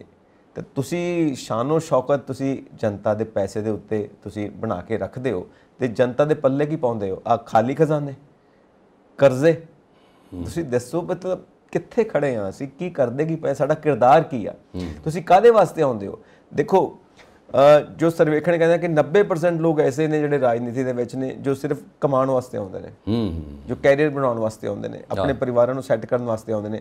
ਆ ਜਿਹੜੇ 10% ਹੁੰਦੇ ਨੇ ਇਹ ਹੁੰਦੇ ਨੇ ਸੱਚਾਈ ਇਮਾਨਦਾਰੀ ਇਖਲਾਕ ਦੀ ਗੱਲ ਕਰਨ ਵਾਲੇ ਔਰ ਐਥਿਕਸ ਦੀ ਗੱਲ ਕਰਨ ਵਾਲੇ ਵਿਚਾਰਧਾਰਾ ਦੀ ਗੱਲ ਕਰਨ ਵਾਲੇ ਇਹ ਤਾਂ ਸ਼ੋਅ ਪੀਸ ਨੇ। ਇਹਨਾਂ ਦਾ ਕੀ ਕਰਨਾ ਹੈ? ਇਹਨਾਂ ਨੂੰ ਬਸ ਦਿਖਾਉਣਾ ਹੈ। ਦਰਸ਼ਨੀ ਘੋੜੇ ਨੇ ਦੇਖੋ ਜੀ ਸਾਡੇ ਕੋਲ ਆ ਵੀ ਬੰਦਾ ਆ ਦੇਖੋ ਜੀ ਕਿੰਨਾ ਇਮਾਨਦਾਰ ਬੰਦਾ। ਇਹ ਸਿਰਫ ਸ਼ੋਅ ਪੀਸ ਹੈ। ਕੰਮ ਉਹਨਾਂ ਦੇ ਕੋਲ ਹੈ ਜਿਹੜੇ ਕਮਾ ਕੇ ਦੇ ਸਕਦੇ ਨੇ ਜਿਹੜੇ ਕਮਾਊ ਪੁੱਤ ਨੇ ਪਾਵਰ ਉਹਨਾਂ ਕੋਲ ਹੈ। ਸੋ ਇਹ ਸਾਡਾ ਹਾਲ ਬਣਿਆ ਹੋਇਆ ਹੈ। ਔਰ ਅਸੀਂ ਗੱਲਾਂ ਵੱਡੀਆਂ ਵੱਡੀਆਂ ਕਰਦੇ ਹਾਂ। ਔਰ ਇਸ ਹਾਲਤ ਵਿੱਚ ਮਾਨ ਸਾਹਿਬ ਨੂੰ ਸੱਤਾ ਮਿਲੀ ਹੈ ਪੰਜਾਬ ਦੀ। ਹੁਣ ਆਫੀਸਰਸ ਦੀ ਲੋਬੀ ਅਲੱਗ ਆ। ਔਰ ਅੰਦਰ ਖਾਤੇ ਪਤਾ ਨਹੀਂ ਕੀ ਕੀ ਚੱਲਦਾ ਹੈ ਕਿਹੜੀ ਕਿਹੜੀ ਆਪਸ ਚ ਪ੍ਰਾਈਵੇਟ ਫੋਨ ਹੁੰਦੇ ਨੇ ਤੁਸੀਂ ਆਹ ਸੰਭਾਲ ਲਿਓ ਤੁਸੀਂ ਆਹ ਸੰਭਾਲ ਲਿਓ। ਹੁਣ ਮਾਨ ਸਾਹਿਬ ਕਿੱਥੇ ਕਿੱਥੇ ਨਜ਼ਰ ਰੱਖਣ ਜਾਂ ਉਹਨਾਂ ਦੇ ਟੀਮ ਦੇ ਮੈਂਬਰ ਕਿੱਥੇ ਕਿੱਥੇ ਨੰਬਰ ਨਜ਼ਰ ਰੱਖਣ ਕਿਉਂਕਿ ਕਈ ਤਾਂ ਬਿਲਕੁਲ ਹੀ ਨਵੇਂ ਨੇ ਇਨਐਕਸਪੀਰੀਅੰਸ ਨੇ। ਇਹ ਪੁਰਾਣੇ ਘਾਗ ਨੇ ਪੁਰਾਣੇ ਖਿਡਾਰੀ ਨੇ ਇਹਨਾਂ ਨੂੰ ਪਤਾ ਹੈ ਇਨਸ ਐਂਡ ਆਊਟਸ ਦਾ। ਉਹਨਾਂ ਨੂੰ ਕਿੱਦਾਂ ਸੰਭਾਲਣਾ ਸੋ ਬਲਕਾਰ ਜੀ ਗੱਲਾਂ ਨਾਲ ਤੇ ਸਰਕਾਰ ਨਹੀਂ ਚੱਲਣੀ। ਬੜੀ ਤੁਹਾਨੂੰ ਚਲਾਕੀ ਨਾਲ ਸਮਝ ਲਓ ਹੁਸ਼ਿਆਰੀ ਨਾਲ ਸਮਝ ਲਓ ਸਮਾਰਟਨੈਸ ਨਾਲ ਸਮਝ ਲਓ ਕਿ ਤੁਹਾਨੂੰ ਬੜਾ ਸਮਾਰਟ ਹੋ ਕੇ ਚੱਲਣਾ ਪੈਣਾ। ਮਤਲਬ ਤੁਹਾਨੂੰ ਉਦਾਂ ਚੱਲਣਾ ਪੈਣਾ ਕਿ ਆਊਟ ਆਫ ਦਾ ਬਾਕਸ ਚੱਲਣਾ ਪੈਣਾ ਤੁਹਾਨੂੰ ਕੋਈ ਸਪੈਸ਼ਲ ਚੀਜ਼ ਕਰਨੀ ਪੈਣੀ ਹੈ। ਇਦਾਂ ਗੱਲਾਂ ਨਹੀਂ ਚੱਲਣੀਆਂ ਕਿ ਜਾ ਕੇ ਮਾਨ ਸਾਹਿਬ ਨੇ ਇੱਕ ਵੀਡੀਓ ਰਿਲੀਜ਼ ਕਰਤੀ ਜੀ ਮੈਂ ਇਹ ਕਰ ਦਿੱਤਾ ਫਿਰ ਵੀਡੀਓ ਰਿਲੀਜ਼ ਕਰਤੀ ਜੀ ਮੈਂ ਉਹ ਕਰ ਦਿੱਤਾ। ਨੋ ਨਾਟ ਲਾਈਕ ਦਿਸ ਇੱਕ ਪਾਰਟ ਹੋ ਸਕਦਾ ਤੁਹਾਡੀ ਗੇਮ ਦਾ ਸਿਰਫ 1% 99% ਤੁਹਾਨੂੰ ਪਬਲਿਕ ਦੇ ਨਾਲ ਆ ਕੇ ਗੱਲ ਕਰਨੀ ਪੈਣੀ ਹੈ, ਹਰ ਚੀਜ਼ ਕਲੀਅਰ ਕਰਨੀ ਪੈਣੀ ਹੈ ਕਿ ਬਹੁਤ ਕੁਝ ਹੈ। ਸਿਰਫ ਚੈਲੰਜ ਨਹੀਂ ਹੈਗੇ, ਚੁਣੌਤੀਆਂ ਨਹੀਂ ਹੈਗੀਆਂ। ਇਹ ਚੁਣੌਤੀਆਂ ਨੂੰ ਪੂਰੀਆਂ ਕਰਨ ਵਾਸਤੇ ਜਿਹੜੀ ਟੀਮ ਚਾਹੀਦੀ ਉਹ ਟੀਮ ਵੀ ਨਹੀਂ ਹੈਗੀ। ਖੰਨਾ ਸਾਹਿਬ ਜੀ, ਇੱਕ ਗੱਲ ਹੈ, ਜੱਸੀ ਵਾਰਿਸ ਦੀ ਹੀਰ ਪੜ੍ਹੀਏ ਤਾਂ ਉਹਦੇ ਜਿਹੜੀ ਹੀਰ 'ਚ ਜੋ ਕੁਝ ਲਿਖਿਆ ਉਹਨਾਂ ਨੇ, ਉਹ ਕਈ ਮੁਹਾਵਰੇ ਤੇ ਅਖਾਣ ਬਣ ਗਏ। ਵਾਰਿਸ ਸ਼ਾਹ ਨਾਤਾਂ ਜਾਂਦੀਆਂ ਨੇ, ਭਾਵੇਂ ਕੱਟੀਏ ਪੂਰੀਆਂ ਪੂਰੀਆਂ ਜੀ। ਪੂਰੀਆਂ ਪੂਰੀਆਂ ਮਤਲਬ ਗੁੱਲੀਆਂ ਗੁੱਲੀਆਂ ਕੱਟੀਆਂ ਜਾਣ ਤੇ ਬਾਤਾਂ ਨਹੀਂ ਜਾਣਗੀਆਂ। ਆ ਵਾਦੜੀਆਂ ਸਜਾਦੜੀਆਂ ਨਿਭਣ ਸਿਰਾਂ ਦੇ ਨਾਲ। ਇਹ ਹੈਗਾ ਜੋ ਤੁਸੀਂ ਹੁਣ ਬਿਊਰੋਕ੍ਰੇਸੀ ਦੀ ਗੱਲ ਕੀਤੀ ਸਰਕਾਰੀ ਕਰਮਚਾਰੀਆਂ ਦੀ ਗੱਲ ਕੀਤੀ ਆ ਹੈ ਤਾਂ ਉਹੀ ਨੇ ਉਹੀ ਖੂਨ ਆ ਉਹੀ ਅਬ ਹਵਾ ਉਹੀ ਪੰਜਾਬ ਆ ਉਹੀ ਲੋਕ ਨੇ ਉਹਨਾਂ ਦਾ ਨਾਲ ਹੀ ਮਿਲਣਾ ਉਹਨਾਂ ਨੇ। ਚਾਹੇ ਸਰਕਾਰ ਬਦਲੀ ਆ ਚਾਹੇ ਸਾਡੇ ਸੀਐਮ ਸਾਹਿਬ ਬਦਲੇ ਨੇ ਨਵੇਂ ਆ ਗਏ ਆ ਉਹ ਆਪਣਾ ਤਾਣ ਲਾ ਰਹੇ ਆ ਕਿ ਲੋਕਾਂ ਤੱਕ ਸੁੱਖ ਜਾਵੇ ਲੋਕਾਂ ਤੱਕ ਸਹੂਲਤਾਂ ਜਾਣ। ਅੱਛੀ ਗੱਲ ਆ ਕੁਝ ਤਾਂ ਉਹਨਾਂ ਨੇ ਬੜਾ ਕੁਝ ਕੀਤਾ ਨਵਾਂ ਸੂਰਜ ਦਿਖਾਇਆ ਉਹਨਾਂ ਨੇ। ਨਵੀਂ ਕੀਤੇ ਪਰ ਜਦੋਂ ਆਵਾ ਉਤਿਆ ਹੋਵੇ ਜਦੋਂ ਤਾਣੀ ਵਿਗੜੀ ਹੋਵੇ ਉਹਨੂੰ ਹੌਲੀ ਹੌਲੀ ਹੌਲੀ ਹੌਲੀ ਉਹਦੇ ਤਾਣੀ ਠੀਕ ਕਰਨੀ ਤੇ ਫਿਰ ਇੱਕ ਖੱਡੀ ਬਣਦੀ ਹੈ। ਖੱਡੀ ਬਣਨ ਤੋਂ ਬਾਅਦ ਵਿੱਚ ਰੰਗ ਪੈਂਦੇ ਆ, ਉਹਦੇ ਚ ਤਾਣੀ ਬਣਦੀ ਆ, ਉਹਦੇ ਚ ਫਿਰ ਖੇਸ, ਦਰੀਆਂ, ਸਰਾਣੇ ਬਣਦੇ ਆ। ਪਰ ਇਹ ਹੁਣ ਬਣਾਉਣ ਲਈ ਥੋੜਾ ਜਿਹਾ ਔਖਾ ਨਿਯਮ ਤਾਂ ਹੈਗਾ, ਔਖਾ ਪ੍ਰੋਸੈਸ ਤਾਂ ਹੈਗਾ, ਪ੍ਰਕਿਰਿਆ ਔਖੀ ਹੈ ਜਿਹਦੇ ਵਿੱਚੋਂ ਜੀ ਸੀਐਮ ਸਾਹਿਬ ਲੰਘ ਰਹੇ ਆ। ਪਰ ਬਹੁਤ ਚੀਜ਼ਾਂ ਜਿਹੜੀਆਂ ਆਸਵੰਦ ਨੇ, ਜਿਹੜੀਆਂ ਹੋ ਰਹੀਆਂ। ਪਰ ਹੁਣੇ ਤੁਸੀਂ ਗੱਲ ਕੀਤੀ ਸੀ ਕਿ ਜਿਹੜੀ ਭ੍ਰਿਸ਼ਟਾਵਾਦ ਜਿਹੜਾ ਫੈਲਿਆ, ਇਹਦੇ ਚ ਜਦੋਂ ਕੁ ਤੱਕ ਹੋਇਆ ਪਟਵਾਰੀ ਯੂਨੀਅਨ ਦੀ ਤੁਸੀਂ ਗੱਲ ਕੀਤੀ ਹੈ ਉਹ 'ਚ ਦਿਦਾਰ ਸਿੰਘ ਉਹਨਾਂ ਦੇ ਆਗੂ ਨੇ ਉਹਨਾਂ ਨੇ ਉਹਨਾਂ ਨੂੰ ਗ੍ਰਿਫਤ ਚ ਲਿਆ ਉਹਨਾਂ ਨੇ ਗ੍ਰਿਫਤਾਰ ਕੀਤਾ। ਉਹਦੇ ਰੋਸ ਵਜੋਂ ਫਿਰ ਧਰਨੇ ਲੱਗ ਧਰਨੇ ਲੱਗਣ ਨਾਲ ਲੋਕਾਂ ਦਾ ਕੰਮ ਕਾਜ ਠੱਪ ਹੋ ਗਿਆ। ਉਹਨਾਂ ਨੇ ਕਿਹਾ ਵੀ ਇਹਨੂੰ ਕਿਉਂ ਗ੍ਰਿ- ਗ੍ਰਿਫਤਾਰ ਕੀਤਾ ਕਿਉਂਕਿ ਉੱਥੇ ਭ੍ਰਿਸ਼ਟਾਚਾਰ ਦਾ ਹੈਗਾ ਸੀਗਾ ਆਰੋਪ ਹੈ ਜੀ ਉਹਨਾਂ ਤੇ। ਆਰੋਪ ਆ। ਇਹਦੇ ਨਾਲ ਹੀ ਦੋ ਤਿੰਨ ਪੁਲਿਸ ਦੇ ਐਸਆਈ ਥਾਣੇਦਾਰ ਫੜੇ ਆ ਜਿਨ੍ਹਾਂ ਨੇ 1 ਲੱਖ ਦੀ ਉਹਨਾਂ ਕੋਲ ਮੰਗ ਕੀਤੀ ਆ ਉਹਨਾਂ ਨੇ 50 50000 ਦੇਤਾ। ਬਾਕੀ ਪੈਸਾ ਜਿਹੜਾ ਉਹਨਾਂ ਨੇ ਰਿਕਾਰਡ ਕਰਕੇ ਦੱਸਿਆ ਉਹਨਾਂ ਨੂੰ ਕਿ ਅਸੀਂ ਆਹ ਕੰਮ, ਉਹ ਕੋਲ ਟਰੱਕ ਦਾ ਸੀ ਬੰਦਾ, ਟਰੱਕ ਚਲਾ ਰਿਹਾ ਸੀਗਾ। ਉਹਦੇ ਟਰੱਕ ਚੋਂ ਕੁਝ ਫੜਿਆ ਗਿਆ ਸੀਗਾ ਤੇ ਜਦੋਂ ਫੜਨ ਤੋਂ ਬਾਅਦ ਉੱਤੇ ਕੇਸ ਕੀਤਾ 1 ਲੱਖ ਰੁਪਏ ਸਾਨੂੰ ਦੇ ਦੇ ਤੇ ਰਫਾ ਦਫਾ ਕਰ ਦਿੰਦੇ ਆ। ਇਹ ਹੈਗਾ ਕਰਮਚਾਰੀਆਂ ਦੀ ਗੱਲ ਕਿ ਕੇਸ ਨੂੰ ਕਿਸ ਤਰ੍ਹਾਂ ਨਿਪਟਾਉਣਾ, ਪੈਸੇ ਜੇਬ 'ਚ ਪਾ ਕੇ ਨਿਪਟੂਗਾ। ਬਾਕੀ ਅਫਸਰਸ਼ਾਹੀ ਕੁਝ ਨਹੀਂ ਹੈਗੀ, ਪੁਲਿਸ ਇਹ ਕਰ ਰਹੀ ਹੈ ਇਹ ਦੇਖੋ ਕਿੱਧਰ ਦੀ ਫਿਰ ਭ੍ਰਿਸ਼ਟਾਚਾਰ ਤੇ ਕਿੱਧਰ ਦੀ ਸਰਕਾਰ ਤੇ ਕਿੱਧਰ ਦੇ ਅਸੀਂ ਕਰਮਚਾਰੀ ਹਾਂ ਇਹ ਫਿਰ ਉਹੀ, ਇਹ ਜੰਗਲੀ ਰਾਜ ਵਾਲੀ ਗੱਲ ਹੁੰਦੀ ਹੈ ਜੋ ਕੁਝ ਹੋ ਰਿਹਾ। ਤੇ ਕਿਹਦੇ ਤੇ ਅਸਰ ਹੁੰਦਾ? ਪਬਲਿਕ ਤੇ। ਜਿਨ੍ਹਾਂ ਨੇ ਸਰਕਾਰ ਬਣਾਈ ਹੈ ਜਿਨ੍ਹਾਂ ਨੇ ਜਨਤਾ ਜਿਹਨੂੰ ਅਸੀਂ ਜਨਤਾ ਕਹਿ ਦਿੰਦੇ ਹਾਂ ਫਿਰ ਇਹ ਜਿਹੜੀ ਮਨਮਾਨੀ ਆ ਜਿਹੜੀ ਆਰਬਿਟਰੀ ਟੰਗ ਹੈ ਇਹ ਕਿਨੂੰ ਇਹਨੂੰ ਨੱਥ ਕੌਣ ਪਾਊਗਾ? ਇਹਨੂੰ ਇਹ ਕਿਸੇ ਬਾਹਰੋਂ ਆਣ ਕੇ ਤੇ ਪਾਉਣੀ ਨਹੀਂ। ਕੋਈ ਬਾਹਰੋਂ ਸ਼ੇਰ ਦਾ ਹਾੜ ਦਾ ਤਾਂ ਆਉਣਾ ਨਹੀਂਗਾ ਜਿਹੜਾ ਆ ਕੇ ਆਵਾਜ਼ ਮਾਰੂਗਾ ਵੀ ਪਰੇ ਹੋ ਜਾ ਮੈਂ ਆ ਗਿਆ ਜੀ ਹੁਣ ਮੈਂ ਪਾੜ ਕੇ ਸੁੱਟ ਦੂੰ ਤੁਹਾਨੂੰ ਉਹ ਤਾਂ ਹੋਣਾ ਨਹੀਂ। ਪਰ ਅੰਦਰਲੀ ਸੋਚ ਅੰਦਰਲੀ ਚਾਹਤ ਉਹਦੇ ਨਾਲ ਹੀ ਸਾਰਾ ਕੁਝ ਆਉਂਦਾ। ਜੇ ਅਸੀਂ ਉਹਨੂੰ ਕਵਾਂਗੇ ਕਿ ਜੇ ਤੂੰ ਜੇ ਆਪਾਂ ਸਾਰੀ ਅੰਦਰ ਨੂੰ ਸੋਚ ਨੂੰ ਚੰਗੀ ਨੀਤੀ ਬਣਾਵਾਂਗੇ ਤਾਂ ਸਾਰਾ ਕੁਝ ਹੋਣਾ। ਜੇ ਅਸੀਂ ਕਵਾਂਗੇ ਕਿ ਸਰਕਾਰ ਕਰੇ ਮੁੱਖ ਮੰਤਰੀ ਸਾਹਿਬ ਕਰਨ ਤੇ ਉਹ ਇਹ ਕਰਨ ਇੱਕ ਇੱਕ ਬੰਦੇ ਨੂੰ ਤਾਂ ਨਹੀਂ ਸਮਝਾਇਆ ਜਾਂਦਾ। ਖੰਨਾ ਜੀ ਜੇ ਆਪਾਂ ਘਰ ਚਲਾ ਰਹੇ ਹਾਂ ਘਰ ਦੇ 5-7 ਜੀ ਨੇ ਜੁਆਇੰਟ ਫੈਮਿਲੀ ਆ ਸਾਂਝਾ ਪਰਿਵਾਰ ਹੈ ਜੁਆਇੰਟ ਫੈਮਿਲੀ 'ਚ ਜੇ ਇੱਕ ਕਰਤਾ ਧਰਤਾ ਘਰ ਦਾ ਵੱਡਾ ਬੰਦਾ ਉਹ ਚਾਹੁੰਦਾ ਕਿ ਘਰ ਦਾ ਜਿਹੜਾ ਰੂਪ ਰੇਖਾ ਇਸ ਤਰ੍ਹਾਂ ਚੱਲੇ। ਇਹਨਾਂ ਇਹਨੂੰ ਇੰਨੇ ਪੈਸੇ ਕ- ਦੇਣੇ ਇਹਨੇ ਇੰਨੇ ਕੱਪੜੇ ਸਵਾਉਣੇ ਆ, ਇਹਨੇ ਇੰਨਾ ਮੋਟਰਸਾਈਕਲ ਚਲਾਉਣਾ। ਉਹ ਕਹੇਗਾ ਉਹਦੇ 'ਚੋਂ ਕਈ ਨਾਰਾਜ਼ ਹੋ ਜਾਣਗੇ। ਉਹ ਬਾਪੂ ਤੂੰ ਪੈਸੇ ਜ਼ਿਆਦਾ ਦੇ ਗਿਆ। ਛੋਟੇ ਨੂੰ ਤੇ ਮੇਰੇ ਵਾਲੇ ਪੈਸੇ ਨਹੀਂ ਭੇਜਿਆ ਨੇ। ਬਾਕੀ ਪਾਸੇ ਕੱਪੜੇ ਉਧਰ ਚਲੇ ਗਏ, ਮੇਰੇ ਆਇਆ ਨਹੀਂ। ਉਧਰ ਜਿਹੜਾ ਰਸੋਈ ਦਾ ਖਰਚਾ ਸਾਰਾ ਕੁਝ ਉਹਨੂੰ ਦਿੱਤਾ। ਇਹ ਹੈਗੀ ਹਿਊਮਨ ਸਾਈਕੀ ਇਹ ਸਮਝ ਆਉਣੀ ਔਖੀ ਆ। ਪਰ ਜੇ ਅਸੀਂ ਬ੍ਰੌਡ ਵੇ ਨਾਲ, ਜੇ ਅਸੀਂ ਖੁੱਲੇ ਮਨ ਨਾਲ ਚੱਲ ਪਈਏ ਤਾਂ ਕੋਈ ਔਖਾ ਨਹੀਂ ਹੁੰਦਾ। ਰੋਟੀਆਂ ਤਾਂ ਦੋ ਹੀ ਖਾਣੀਆਂ ਬੰਦੇ ਨੇ। ਪਰ ਕੰਮ ਤੇ ਜਿਹੜੀਆਂ ਸਹੂਲਤਾਂ ਤੁਹਾਡੇ ਕੋਲ ਜਿਹੜੀਆਂ, ਉਹ ਅਸੀਂ ਚਾਹੁੰਦੇ ਆ ਉਹ ਤਾਂ ਦੇਊਗਾ, ਪਿਓ ਆਖਰ 'ਚ ਸਾਨੂੰ ਦਊਗਾ ਪਰ ਜਿਹਦੇ 'ਚ ਜੁਆਇੰਟ ਫੈਮਿਲੀ ਦਾ ਮਤਲਬ ਬਾਹਰਲੀਆਂ ਕੁੜੀਆਂ, ਜਿਨ੍ਹਾਂ ਨੂੰ ਨੌ ਆਂਦੇ ਉਹ ਵੀ ਆਈਆਂ ਹੈਗੀਆਂ। ਉਹ 'ਚ ਪੋਤਰੀਆਂ ਵੀ ਹੈਗੇ, ਦੋਤਰੇ ਵੀ ਹੈਗੇ ਆ। ਉਹ ਸਾਰੇ ਜੁਆਇੰਟ ਫੈਮਿਲੀ ਦਾ ਇੱਕ ਤਾਣਾ ਬਾਣਾ ਹੋਰ ਤਰ੍ਹਾਂ ਦਾ ਹੋਊਗਾ ਤੇ ਬਜ਼ੁਰਗ ਨੂੰ ਥੋੜਾ ਜਿਹਾ ਇਕੱਠਾ ਕਰਨਾ ਔਖਾ ਹੋਊਗਾ। ਹਾਲਾਂਕਿ ਇਸ ਵੇਲੇ ਜੁਆਇੰਟ ਫੈਮਿਲੀ ਪੰਜਾਬ 'ਚ ਬਹੁਤ ਘੱਟ ਆ ਕਿਉਂਕਿ ਇਸ ਵੇਲੇ ਸੈਪਰੇਟ ਹੋ ਗਏ ਆ ਲੋਕ। ਜੇ ਚਾਰ ਭਰਾ ਵਾ ਆਪਣੇ ਆਪਣੇ ਘਰ ਬਣਾਏ ਆ। ਦੋ ਸ਼ਹਿਰ 'ਚ ਰਹਿ ਰਹਿ ਰਿਹਾ ਦੋ ਪਿੰਡ 'ਚ ਰਹਿ ਰਿਹਾ ਦੋ ਦੋ ਕੋ ਜ਼ਮੀਨ ਆ ਦੋ ਨੌਕਰੀ ਵਾਲੇ ਆ। ਇਸ ਤਰ੍ਹਾਂ ਦੀ ਇੱਕ ਰੂਪ ਰੇਖਾ ਬਣੀ ਪੰਜਾਬ ਦੀ। ਪਰ ਅਸੀਂ ਤਾਂ ਗੱਲ ਕਰ ਰਹੇ ਹਾਂ ਜੇ ਵਸੀ ਤੌਰ ਤੇ ਚੌੜੇ ਦਾਇਰੇ 'ਚ ਪੰਜਾਬ ਦੀ ਪਰ ਪੰਜਾਬ ਦੇ ਦਾਇਰੇ ਅ, ਦਾਇਰੇ ਨੂੰ ਜੇ ਅਸੀਂ ਵੇਖਦੇ ਆ ਨੀਜ ਲਾ ਕੇ ਵੇਖਦੇ ਆ ਝਾਤ ਨਾਲ ਦੇਖਦੇ ਆ ਤੇ ਇਹਦੇ 'ਚ ਵੀ ਬੜਾ ਸਾਬਟ ਹੈ ਇਹਦੇ 'ਚ ਬੜਾ ਟੁੱਟ ਭੰਨ ਹੋਈ ਹੈ। ਹੁਣ ਅਸੀਂ ਅੱਜ ਦੇ ਮਸਲਿਆਂ ਦੀ ਗੱਲ ਹੀ ਕਰ ਰਹੇ ਹਾਂ। ਪਹਿਲੋਂ ਤਾਂ ਅੱਗੇ ਪੰਜਾਬ ਦਾ ਜਿਹੜਾ ਪੈਸਾ ਸੀ ਜਿਹਦਾ ਖਜ਼ਾਨਾ ਸੀ ਉਹ 'ਚੋਂ ਬਹੁਤ ਪੈਸਾ ਜਦੋਂ ਸੈਂਕਸ਼ਨ ਹੋਇਆ ਤਾਂ ਉਹ ਉਸ ਜਗ੍ਹਾ ਤੇ ਨਹੀਂ ਗਿਆ ਜਿਸ ਜਗ੍ਹਾ ਤੇ ਵਰਤਣਾ ਚਾਹੀਦਾ ਸੀ। ਉਹ ਇੱਕ ਇਹਨਾਂ ਕੋ ਆ ਗਿਆ ਘੁਟਾਲਾ ਦੂਜਾ ਘੁਟਾਲਾ ਆ ਗਿਆ ਵਿਧਾਨ ਸਭਾ ਵਾਲਾ ਆ ਗਿਆ ਵਾਰੀ-ਵਾਰੀ ਬਹੁਤ ਆਉਣਗੇ। ਇਸ ਤਰ੍ਹਾਂ ਦੇ ਘੁਟਾਲਿਆਂ ਨੂੰ ਜੇ ਅਸੀਂ ਵੇਖਦੇ ਰਹਾਂਗੇ ਤਾਂ ਫਿਰ ਡਿਵੈਲਪਮੈਂਟ ਕੀ ਹੋਣੀ ਹੈ? ਘੁਟਾਲਿਆਂ ਪਿੱਛੇ ਹੀ ਲੱਗੇ ਰਹੋ ਉਹਨਾਂ ਬੰਦਿਆਂ ਨੂੰ ਫੜੋ ਉਹਨਾਂ ਨੂੰ ਅੰਦਰ ਕਰੋ ਉਹਨਾਂ ਦਾ ਸਾਰਾ ਕੁਝ ਕਰੋ। ਪਰ ਇੱਕ ਗੱਲ ਹੈਗੀ ਹੈ, ਜਿਹੜੇ ਵੀਵੀਆਈਪੀ ਹੈ ਜਿਹੜੇ ਵੱਡੀਆਂ ਕੁਰਸੀਆਂ ਤੇ ਬੈਠੇ ਆ ਇਹਨਾਂ ਤੱਕ ਪੁਲਿਸ ਤੱਕ ਜਾਣਾ ਵੀ ਬਹੁਤ ਔਖਾ। ਹੁਣ ਬ- ਬਹੁਤ ਵੱਡੇ ਸਾਡੇ ਪੁਲਿਸ ਅਫਸਰ ਨੇ ਜਿਨ੍ਹਾਂ ਨੇ ਅ, ਬਹਿਬਲ ਕਲਾਂ 'ਚ ਇੱਧਰ ਉੱਧਰ ਗੋਲੀ ਚਲਾਈ ਹੈ। ਉਹਨਾਂ ਦੇ ਕੇਸ ਚੱਲ ਰਹੇ ਆ ਪਰ ਉਹਨਾਂ ਦਾ ਕੁਝ ਨਹੀਂ ਹੋਇਆ। ਪਰ ਗਰੀਬ ਆਦਮੀ ਜ- ਜਿਹੜਾ ਆਊਗਾ ਉਹ 2-4 ਦਿਨਾਂ 'ਚ ਅੰਦਰ ਹੋਊਗਾ। ਉਹ ਜੋ ਜੁਡੀਸ਼ਰੀ ਇੱਕਦਮ ਫੈਸਲਾ ਸੁਣਾਉਂਦੀ ਹੈ। ਪਰ ਇਹ ਹੈਗਾ ਆਪਾਂ ਨੇ ਬਿਫੋਰ ਲਾ ਵੀ ਆਰ ਇਕਲ ਕਾਨੂੰਨ ਦੇ ਸਾਹਮਣੇ ਅਸੀਂ ਸਾਰੇ ਇੱਕ ਹਾਂ ਪਰ ਨਹੀਂ ਲੋਕਤੰਤਰ 'ਚ ਇਦਾਂ ਦਾ ਕੋਈ ਨਹੀਂ ਅਜੇ ਤੱਕ ਆਇਆ। ਜੁਡੀਸ਼ਰੀ ਦੂਜਿਆਂ ਲਈ ਹੋਰ ਹੈ ਵੀਆਈਪੀ ਲਈ ਹੋਰ ਹੈ ਬੜਾ ਕੁਝ ਹੁੰਦਾ। ਉਹ ਬੰਦੇ ਜਿਹੜੇ ਆ ਵਿਰਚੁਅਲ ਜਿਹੜੀ ਪ੍ਰੋਸੈਸ ਉੱਤੇ ਗੱਲ ਕਰਦੇ ਆ। ਆਮ ਬੰਦਾ ਵਿਚਾਰਾ ਵਕੀਲ ਲੈ ਕੇ ਅੰਦਰ ਜਾਂਦਾ। ਇਹ ਹੈਗਾ ਸਾਡੀ ਡੈਮੋਕ੍ਰੇਸੀ ਇਹ ਹੈਗਾ ਸਾਡਾ ਰਹਿਣ ਸਹਿਣ ਇਹ ਹੈਗਾ ਸਾਰਾ ਕੁਝ ਗਰੀਬ ਆਦਮੀ ਲਈ ਕਾਨੂੰਨ ਕੋਈ ਨਹੀਂ ਹੈਗਾ। ਕਾਨੂੰਨ ਉਹਦਾ ਹੈਗਾ ਜਿਹੜਾ ਬੰਦਾ ਵੱਡਾ, ਜਿਹੜਾ ਵੱਡੀ ਕੁਰਸੀ ਤੇ ਬੈਠਾ। ਇਸੇ ਹੀ ਆਰਥਿਕ ਪਾੜੇ ਨੇ ਸਾਡੇ ਦੇਸ਼ ਦਾ ਜਿਹੜਾ ਦੇਸ਼ ਨੂੰ ਜਾਂ ਢਹਿੰਦੀਆਂ ਕਲਾਂ ਵੱਲ, ਪਤਨ ਵੱਲ ਲੈਂਦਾ ਇਹ ਹੁਣ ਜਿਹੜੀ ਵੀ ਗੱਲ ਕਰੀਏ ਮੀਡੀਆ ਉਹਨੂੰ ਬਹਿ ਕਾਬੂ ਕਰਦਾ ਵਾ, ਪ੍ਰਿੰਟ ਮੀਡੀਆ ਇਲੈਕਟ੍ਰੋਨਿਕਸ ਮੀਡੀਆ ਕਾਬੂ ਕਰਦਾ, ਲੋਕਾਂ ਤੱਕ ਪਹੁੰਚਾਉਂਦਾ। ਇਹ ਗੱਲ ਬੜੀ ਵਧੀਆ ਵਧੀਆ ਹੈਗੀ ਡੈਮੋਕ੍ਰੇਸੀ 'ਚ ਲੋਕਾਂ ਤੱਕ ਗੱਲ ਪਹੁੰਚ ਗਈ ਹੈ। ਅੱਗੇ ਖੰਨਾ ਜੀ ਕੋਈ ਗੱਲ ਨਹੀਂ ਜਾਂਦੀ ਹੁੰਦੀ ਲੋਕਾਂ ਦੀ। ਜੋ ਕੁਝ ਹੁੰਦਾ, ਹੁਣ ਵਿਧਾਨ ਸਭਾ ਦਾ ਘੁਟਾਲੇ ਦਾ ਪਤਾ ਲੱਗਾ, ਲੋਕਾਂ ਤੱਕ ਗਿਆ। ਹੁਣ ਗਰੀਬ ਆਦਮੀ ਕੀ ਕਰਨਗੇ? ਹੁਣ ਕਿਸਾਨ ਜੇ ਬਿਜਲੀ ਦੇ ਲਈ ਲੜਦੇ ਆ, ਹੁਣ ਬਿਜਲੀ ਲਈ ਅੱਜ ਇਹਨਾਂ ਨੇ ਕਿਸਾਨ ਦਾ ਜਿਹੜੇ ਆਪਣੇ ਬਿਜਲੀ ਮੰਤਰੀ ਹੈ ਹਰਭਜਨ ਸਿੰਘ ਜੀ ਈਟੀਓ ਜਿਹੜੇ ਜਨਿਆਲਾ ਗੁਰੂ ਤੋਂ, ਉਹਨਾਂ ਦੇ ਘਰ ਦਾ ਘਰਾਓ ਕੀਤਾ। ਉਹਨਾਂ ਨੇ ਕਿਹਾ ਕਿ ਸਾਨੂੰ ਬਿਜਲੀ ਚਾਹੀਦੀ ਹੈ, ਪੈਸੇ ਭਾਵੇਂ ਘੱਟ, ਸਾਨੂੰ ਸਬਸਿਡੀ ਨਾ ਦਿਓ। ਪਰ ਅਸੀਂ ਬਿਜਲੀ ਚਾਹੁੰਦੇ ਹਾਂ। ਪਰ ਇੱਕ ਗੱਲ ਹੈਗੀ ਆ, ਜੇ ਹੁਣ ਬਿਜਲੀ ਮਿਲੂਗੀ ਤਾਂ ਇਹ ਚ ਪੰਜਾਬ ਗਵਰਨਮੈਂਟ ਦਾ ਕੀ ਕਸੂਰ ਹੈ? ਜਦੋਂ ਕੋਲਾ ਹੀ ਹੈ ਨਹੀਂ, ਜਦੋਂ ਯੂਨਿਟੀ ਬੰਦ ਹੈ ਗਿਆ ਹੁਣ ਭਗਵੰਤ ਮਾਨ ਕਰੇ ਤਾਂ ਬਿਜਲੀ ਨਹੀਂ ਬਣਾ ਕੇ ਦੇ ਦੇਊਗਾ, ਬਿਜਲੀ ਤਾਂ ਪਲਾਂਟਾਂ 'ਚ ਬਣਨੀ ਹੈ। ਇਹ ਉਹਨਾਂ ਸਰਕਾਰਾਂ ਦੇ ਵੇਲੇ ਵੀ ਰਹੇ ਆ। ਐਨੇ ਘੱਟ ਉਦੋਂ ਵੀ ਲੱਗ- ਲੱਗਦੇ ਰਹੇ ਜੀ, ਪਿਛਲੇ 5 ਸਾਲ ਨੂੰ ਪਿੱਛੇ ਚੱਲ ਜਾਓ। ਨਵਜੋਤ ਸਿੱਧੂ ਜੀ ਨੇ ਕਿਹਾ ਵੀ ਆ ਗਈ ਆਪ, ਨਾ ਦਿਨੇ ਬੱਤੀ, ਨਾ ਰਾਤ। ਹੁਣ ਉਹਨਾਂ ਨੇ ਇਹ ਕਿਹਾ ਰਾਜਾ ਬਣेंगे ਨੇ ਕਿਹਾ ਕਿ ਲੋਕ ਤਾਰਾਂ ਦੇ ਕੱਪੜੇ ਸੁਕਾਉਣ ਤੋਂ ਵੀ ਪੈ ਗਏ ਆ। ਪਰ ਜਦੋਂ ਸੂਰਜ ਦੀ ਗਰਮੀ ਨਾਲ ਕੱਪੜੇ ਸੁੱਕਦੇ ਆ ਸੋਲਰ એનર્ਜੀ ਵੀ ਹੈਗੀ ਸਾਡੇ ਕੋਲ ਸਾਰਾ ਕੁਝ ਹੈਗਾ। ਪਰ ਜਦੋਂ ਅਸੀਂ ਦੀਵਿਆਂ 'ਚ ਪੜੇ ਦੀਵਿਆਂ 'ਚ ਵੱਡੇ ਹੋਏ ਦੀਵਿਆਂ ਦੀਆਂ ਬੱਤੀਆਂ 'ਚ ਵਟ ਕੇ ਸਾਰਾ ਕੁਝ ਕਰਦੇ ਹਾਂਗੇ ਅਸੀਂ ਉਹੀ ਇਨਸਾਨ ਆ ਪੰਜਾਬ ਦੇ ਉਸੇ ਸੰਘਰਸ਼ ਚੋਂ ਨਿਕਲੇ। ਅਸੀਂ ਕਿਉਂ ਨਾ ਫੈਸਿਲਿਟੀ ਚ ਆ ਗਏ ਸਾਡੀਆਂ ਮਾਵਾਂ ਨੂੰ ਪੁੱਛੋ ਇਹਨਾਂ ਨੇ ਕਿੱਦਾਂ ਸਾਨੂੰ ਪੜਾਇਆ ਦੀਵਿਆਂ ਨਾਲ। ਇੱਕ ਚਿਮਨੀਆਂ ਹੁੰਦੀਆਂ ਛੋਟੀਆਂ ਅਸੀਂ ਮੈਂ ਖੁਦ ਉੱਤੇ ਪੜਿਆ ਹੁਣ ਜੇ ਅਸੀਂ ਬਲਬ ਤੇ ਚਾਨਣੇ ਕਿ ਅਸੀਂ ਰੋਜ਼ ਬਲਬ ਨਹੀਂ ਜਗਦਾ ਬੋਰਡ ਪੇਪਰ ਕਿੱਧਰ ਗਏ ਜਦੋਂ ਤੁਸੀਂ ਜ਼ਿਕਰ ਕਰਦੇ ਜੀ ਕਿਉਂ ਨਹੀਂ ਉੱਥੇ ਬਹਿੰਦੇ ਅਸੀਂ? ਕਿਉਂ ਉੱਥੇ ਡੰਗਰ ਕਿਉਂ ਨਹੀਂ ਬੰਨਦੇ ਉੱਥੇ ਸੀ ਕਿਉਂ ਨਹੀਂ ਉੱਥੇ ਖੁੱਲੀ ਛਾਵੇਂ ਬਹਿੰਦੇ? ਡਬਈ ਦੀ ਗੱਲ ਜੇ ਕਰੋ ਤੇ ਡਬਈ 'ਚ ਇਸ ਵੇਲੇ ਰੁੱਖ ਲਾਏ ਉਹਨਾਂ ਨੇ। ਕੱਲ ਪਰਸੋਂ ਫਿਰ ਮੀਂਹ ਪਿਆ ਉੱਥੇ। ਇੱਥੇ ਮੀਂਹ ਦਾ ਨਾਂ ਨਿਸ਼ਾਨ ਨੇ। ਕਿਉਂਕਿ ਇੱਕ ਇਹ ਅਸੀਂ ਡੈਜ਼ਰਟ ਬਣਾ ਲਿਆ ਅਸੀਂ ਇਹ ਮਾਰੂਥਲ ਬਣਾ ਲਿਆ ਪਰ ਜਿਹੜਾ ਮਾਰੂਥਲ ਸੀ ਉੱਥੇ ਬਾਹਰਾਂ ਖਿੜ ਗਈਆਂ। ਲੋਕ ਖੁਸ਼ ਨੇ। ਕਿੰਨਾ ਕੁਛ ਉੱਥੇ ਕੀਤਾ ਲੋਕ ਦੁਬਈ ਨੂੰ ਵੇਖਣ ਜਾਂਦੇ ਆ। ਇਹ ਪੰਜਾਬ ਦਾ ਜਿਹੜਾ ਏਰੀਆ ਸੀਗਾ ਜਿਨ੍ਹਾਂ ਨੂੰ ਲੋਕ ਵੇਂਦੇ ਸੀ ਗੁਰੂਆਂ ਦੀ ਧਰਤੀ ਹੈ ਪੀਰਾਂ ਦੀ ਧਰਤੀ ਹੈ ਇੱਥੇ। ਔਰ ਇੱਥੇ ਵੱਡੇ ਵੱਡੇ ਹਮਲਾਵਰ ਆਏ ਸੋਨੇ ਦੀ ਚਿੜੀ ਆ ਪਰ ਇਸ ਨੂੰ ਕੀ ਬਣਾਣਾ ਮਾਰੂਥਲ ਕਿਉਂ ਖਾਨਾ ਜੀ? ਗੱਲ ਤਾਂ ਠੀਕ ਹੈ ਨਾ? ਬਿਲਕੁਲ ਗੱਲ ਠੀਕ ਆ।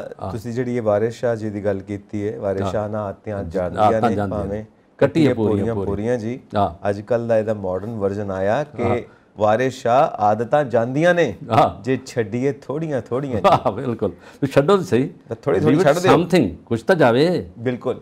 ਤੇ ਤੁਸੀਂ ਜਿਹੜੀ ਇਹ ਗੱਲ ਕੀਤੀ ਹੈ ਨਾ એનર્ਜੀ ਦੀ ਹਾਂ। ਜੋ ਯੂਕਰੇਨ ਦਾ ਯੁੱਧ ਚੱਲ ਰਿਹਾ ਰਸ਼ੀਆ ਦਾ ਯੁੱਧ ਚੱਲ ਰਿਹਾ ਉਸ ਵਕਤ ਕਿਉਂਕਿ ਅਸੀਂ ਡਿਪੈਂਡ ਕਰ ਰਹੇ ਹਾਂ ਪੈਟਰੋਲੀਅਮ ਉੱਤੇ ਅਸੀਂ ਡਿਪੈਂਡ ਕਰ ਰਹੇ ਹਾਂ ਨੈਚੁਰਲ ਗੈਸ ਉੱਤੇ ਜੋ ਰਸ਼ੀਆ ਦੇ ਵਿੱਚ ਮਿਲਦੀ ਹੈ ਸਾਨੂੰ। ਸੋ ਆਲਟਰਨੇਟਿਵ એનર્ਜੀ ਦੇ ਸੋਰਸਸ ਕਿਹੜੇ ਹੋ ਸਕਦੇ ਨੇ? ਇੰਟਰਨੈਸ਼ਨਲ ਲੈਵਲ ਦੇ ਉੱਤੇ ਡਿਬੇਟ ਚੱਲਦੀ ਪਈ ਹੈ ਤਾਂ ਕਿ ਇੱਕ ਦੇਸ਼ ਦੂਸਰੇ ਦੇਸ਼ ਦੇ ਉੱਤੇ ਡਿਪੈਂਡ ਤਾਂ ਕਰੇ ਪਰ ਕਿਤੇ ਬਲੈਕਮੇਲਿੰਗ ਨਾ ਹੋਣੀ ਸ਼ੁਰੂ ਹੋ ਜਾਵੇ ਕਿ ਉਹ ਡਿਪੈਂਡੈਂਸੀ ਤੋਂ ਇਲਾਵਾ ਹੋਰ ਕੋਈ ਰਾਹ ਨਹੀਂ ਰਹਿ ਗਿਆ ਇਸ ਕਰਕੇ ਜਿਹਦੇ ਉੱਤੇ ਡਿਪੈਂਡ ਕਰ ਰਹੇ ਆ ਉਹ ਆਪਣੀ ਮਰਜ਼ੀ ਚਲਾਣੀ ਸ਼ੁਰੂ ਕਰ ਦਵੇ। ਇਹ ਚੀਜ਼ ਨਹੀਂ ਹੋਣੀ ਚਾਹੀਦੀ। ਇਸ ਕਰਕੇ એનર્ਜੀ ਦੇ ਵੱਖੋ-ਵੱਖ ਸੋਰਸਸ ਸਾਨੂੰ ਲੱਭਣੇ ਪੈਣੇ ਨੇ। ਔਰ ਉਹ ਜ਼ਰੂਰੀ ਵੀ ਕਿਉਂਕਿ ਕਦੋਂ ਤੱਕ ਪੈਟਰੋਲ ਰਹੇਗਾ ਕਦੋਂ ਤੱਕ ਇਹ ਨੈਚੁਰਲ ਗੈਸ ਰਹੇਗੀ ਸੀਮਿਤ ਨੇ। ਕੁਦਰਤ ਦੇ ਸਾਧਨ ਸੀਮਿਤ ਨੇ ਪਰ ਧੁੱਪ ਹਮੇਸ਼ਾ ਮਿਲੇਗੀ ਹਵਾ ਹਮੇਸ਼ਾ ਮਿਲੇਗੀ। ਵਿੰਡ ਮਿਲਸ ਚਲਾ ਸਕਦੇ ਹਾਂ ਅਸੀਂ।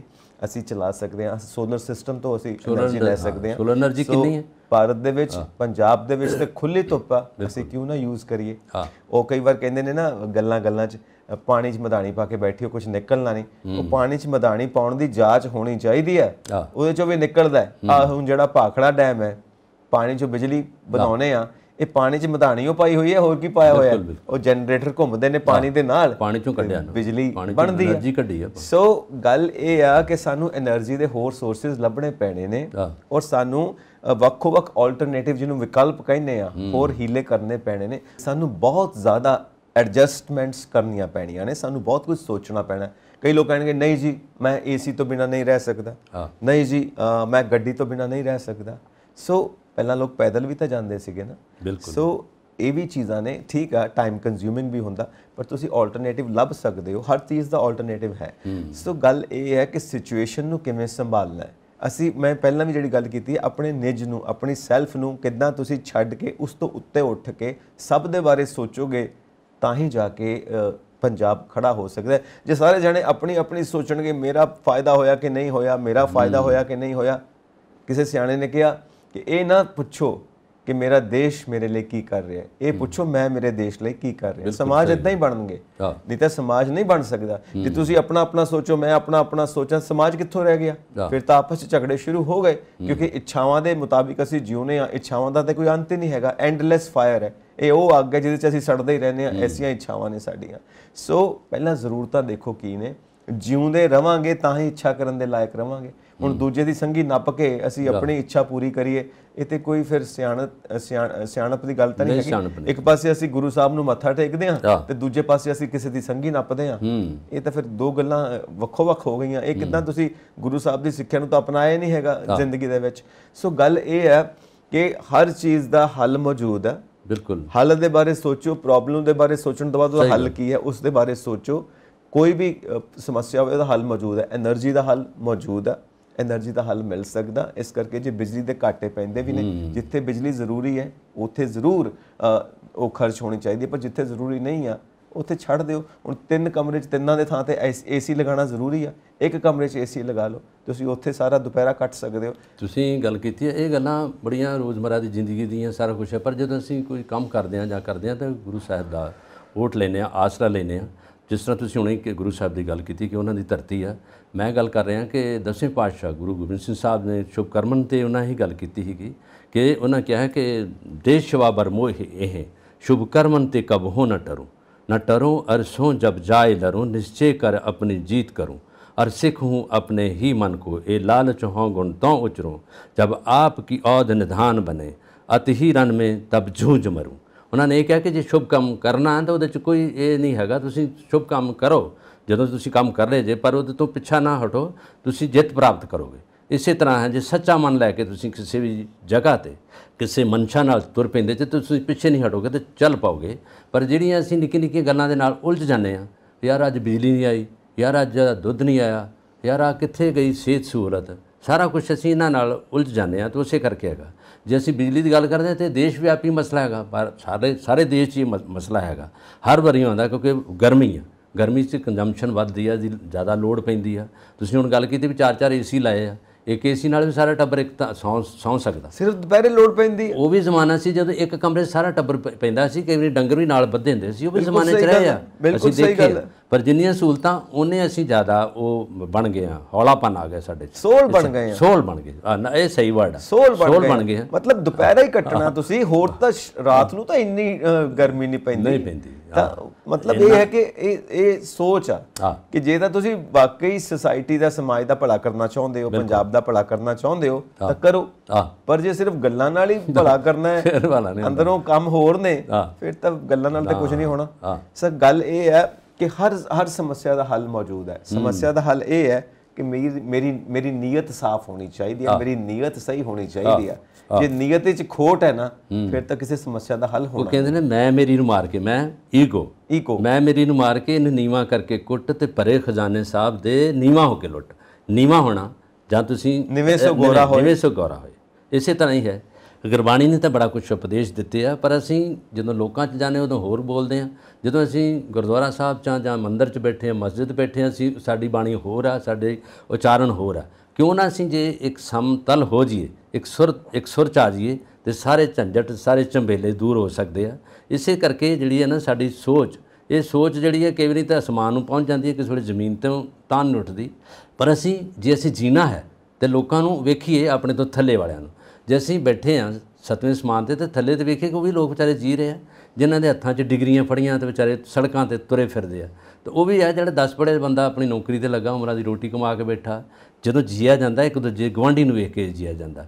ਜੇ ਗਵਾਂਢੀ ਬ੍ਰੈਡ ਖਾ ਰਿਹਾ ਤੇ ਜੇ ਤੁਹਾਡੇ ਕੋਲ ਸੁੱਕੀ ਰੋਟੀ ਹੈ ਤੇ ਇਹਦਾ ਮਤਲਬ ਤੁਸੀਂ ਵੀ ਜੀਵੋਗੇ ਤੁਸੀਂ ਵੀ ਇਹ ਹੋਗੇ। ਇਹ ਨਹੀਂ ਕਿ ਝਪਟਾ ਮਾਰ ਕੇ ਉਹਨੂੰ ਖੋਲੋਗੇ। ਗੱਲ ਇਹ ਹੈ ਨਾ ਮਤਲਬ ਜਿਹੜੇ ਇਹਨਾਂ ਨੇ ਵੱਡੇ ਵੱਡੇ ਧਨਾੜ ਲੋਕ ਨੇ ਸਰਮਾਏਦਾਰ ਲੋਕ ਨੇ ਜੋ ਸਾਡੇ ਸਿਰਾਂ ਤੋਂ ਹੀ ਸਰਮਾਏਦਾਰ ਬਣੇ ਨੇ ਕੋਈ ਲੈ ਕੇ ਥੋੜਾ ਜੰਮਦਾ ਹੈ।